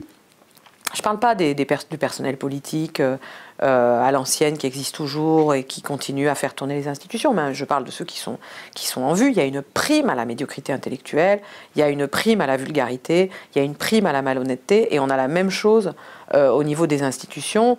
Euh, on voit maintenant des gens diriger des universités, diriger des hôpitaux, mais c'est proprement consternant. Donc on a le niveau intellectuel des infirmiers, des aides-soignants, des médecins, etc., qui, est élevé finalement, il y a vraiment une exigence, et puis des chefs, pour simplifier, euh, je déteste ce terme, mais euh, qui se comportent comme tels, qui sont en réalité inaptes, ineptes, incultes, et qui euh, répètent les impératifs gestionnaires. voilà, donc c'est affolant. Et quand on en est là, évidemment, c'est, ça remet complètement en cause les principes du gouvernement représentatif puisque le, pour revenir à notre discussion du début, puisque les principes du gouvernement représentatif, c'est que euh, nos élus soient les plus compétents, les plus éclairés, les mieux élevés, les, ceux qui parlent le mieux, etc. Et là, on a euh, en fait un gouvernement représentatif qui marche à l'envers. Hein. Euh, donc, du même coup, il est en crise. Un mot sur le, le pass, le, pass vaccinatoire, mhm. Mhm. C'est-à-dire Bien, pas bien, il faut l'imposer, pas l'imposer je ne sais pas, moi je, peux comprendre qu'un pays euh, euh, dans lequel le virus circule pas euh, n'accepte pas de ressortissants étrangers sans avoir les garanties de ceci ou de cela. Le problème c'est que le vaccin à l'heure actuelle ne nous donne aucune garantie qu'on ne transmet pas le virus on commence à avoir, pour certains vaccins, euh, des remontées peut-être positives, mais enfin, rien n'est encore établi. Ou, peut-être négatives sur la capacité à nous immuniser ou nous protéger. Dans le temps long. exactement. du coup, euh, voilà, partir dans cette logique, alors même qu'on n'a absolument pas trouvé par ce vaccin, par ces vaccins, euh, la solution thérapeutique qui nous a débarrassé de, de la chose, paraît complètement aberrant. J'ai une question euh, d'Internet de Hassan, mhm. qui est une question euh, personnelle. Mhm. Euh, question pour, pour, compléter le rituel de clôture Thinkerview. Quelles sont les trois plus belles leçons qu'elle retient de son père et qu'elle souhaite partager avec nous Entre parenthèses, signé un étudiant éternel de Bernard Stiegler. Fermez la parenthèse, merci. Mais je préfère pas répondre parce que c'est compliqué pour moi. Et il manque deux bouquins. Mhm. Ah oui, deux bouquins. Ah, écoutez, que vous dire? J'en ai tellement là sur, sur ma table, je ne sais pas par où commencer. Parce que j'ai. Fermez les yeux, imaginez euh, le titre. Non, je, suis désolée. J'ai pas. C'est vrai que ce livre sur la Chine. Euh, voilà, je trouve que ça, ça vaudrait le coup que les gens s'y penchent, quitte à polémiquer en disant que c'est pas c'est pas la bonne entrée. Moi, il n'y a pas de problème, j'y connais rien. Hein. donc, euh, moi, je suis prête à me faire instruire. Mais je trouve que c'est intéressant. Euh, je pense que c'est un gros travail qui a été fait, euh, qui a été fait autour de ce livre, quoi. Donc, il faut, il faut regarder ça. Voilà. Sinon, non, je sais pas. Un conseil pour les jeunes générations? Une bouteille à la mer. Un conseil pour les jeunes générations. Ah oui, vous m'aviez fait le coup la dernière fois. Je vous sais pas. un conseil pour les jeunes générations, oui, bah, que les jeunes générations euh, moi, je les appelle à, défendre avec nous, euh, avec ceux qui, même si on est très peu nombreux, peu importe, même si on échouera, peu importe. Il ne faut pas toujours vouloir gagner, il faut, faire les choses, on verra si on gagne. Euh, défendre l'esprit de l'université. Qu'est-ce que j'appelle l'esprit de l'université? C'est le fait que enseigner, c'est aussi faire de la recherche. Faire de la recherche, c'est aussi transmettre. C'est euh, faire circuler en fait la discussion démocratique et instruite et éclairée, euh, ne pas avoir peur de euh, la confrontation, de, du désaccord, tout ce que je vous ai dit tout à l'heure, considérer que c'est ça qui nous forme, qu'on se forme tout au long de notre vie comme ça, pas par des coachings et des management et des, sessions de management, et, pas par des sessions de méditation pour déconnecter et pour recréer une bulle de bien-être, mais qu'on se forme en fait par l'épreuve démocratique. Et que ça passe par l'esprit d'université qui doit circuler partout, de la classe maternelle jusqu'à l'école d'infirmière, en passant par la fac de médecine, en passant par euh, les stages de formation en entreprise. L'esprit de l'université doit circuler partout. Et qu'est-ce que c'est que l'esprit de l'université? C'est l'idée que la jeunesse porte du nouveau. C'est ça que ça veut dire, l'université. La jeunesse porte du nouveau, mais elle ne peut exprimer cette nouveauté que si elle est formée par les plus anciens et si elle le fait dans un esprit de recherche avec les plus anciens, dans un esprit de co-construction euh, des savoirs, avec de la méthode, avec des disciplines, avec euh, des champs qui sont structurés. Euh, voilà. Et je pense que c'est vraiment quelque chose qui s'adresse à la jeunesse et que euh, partout où on est, on peut être dans un lycée, on peut être dans un collège, on peut être dans un institut, dans une boîte privée, peu importe, on peut contribuer à essayer de euh, faire revivre cet esprit de l'université qui est aujourd'hui attaqué de, de toutes parts. Barbara Stigler, merci. Je vous en prie.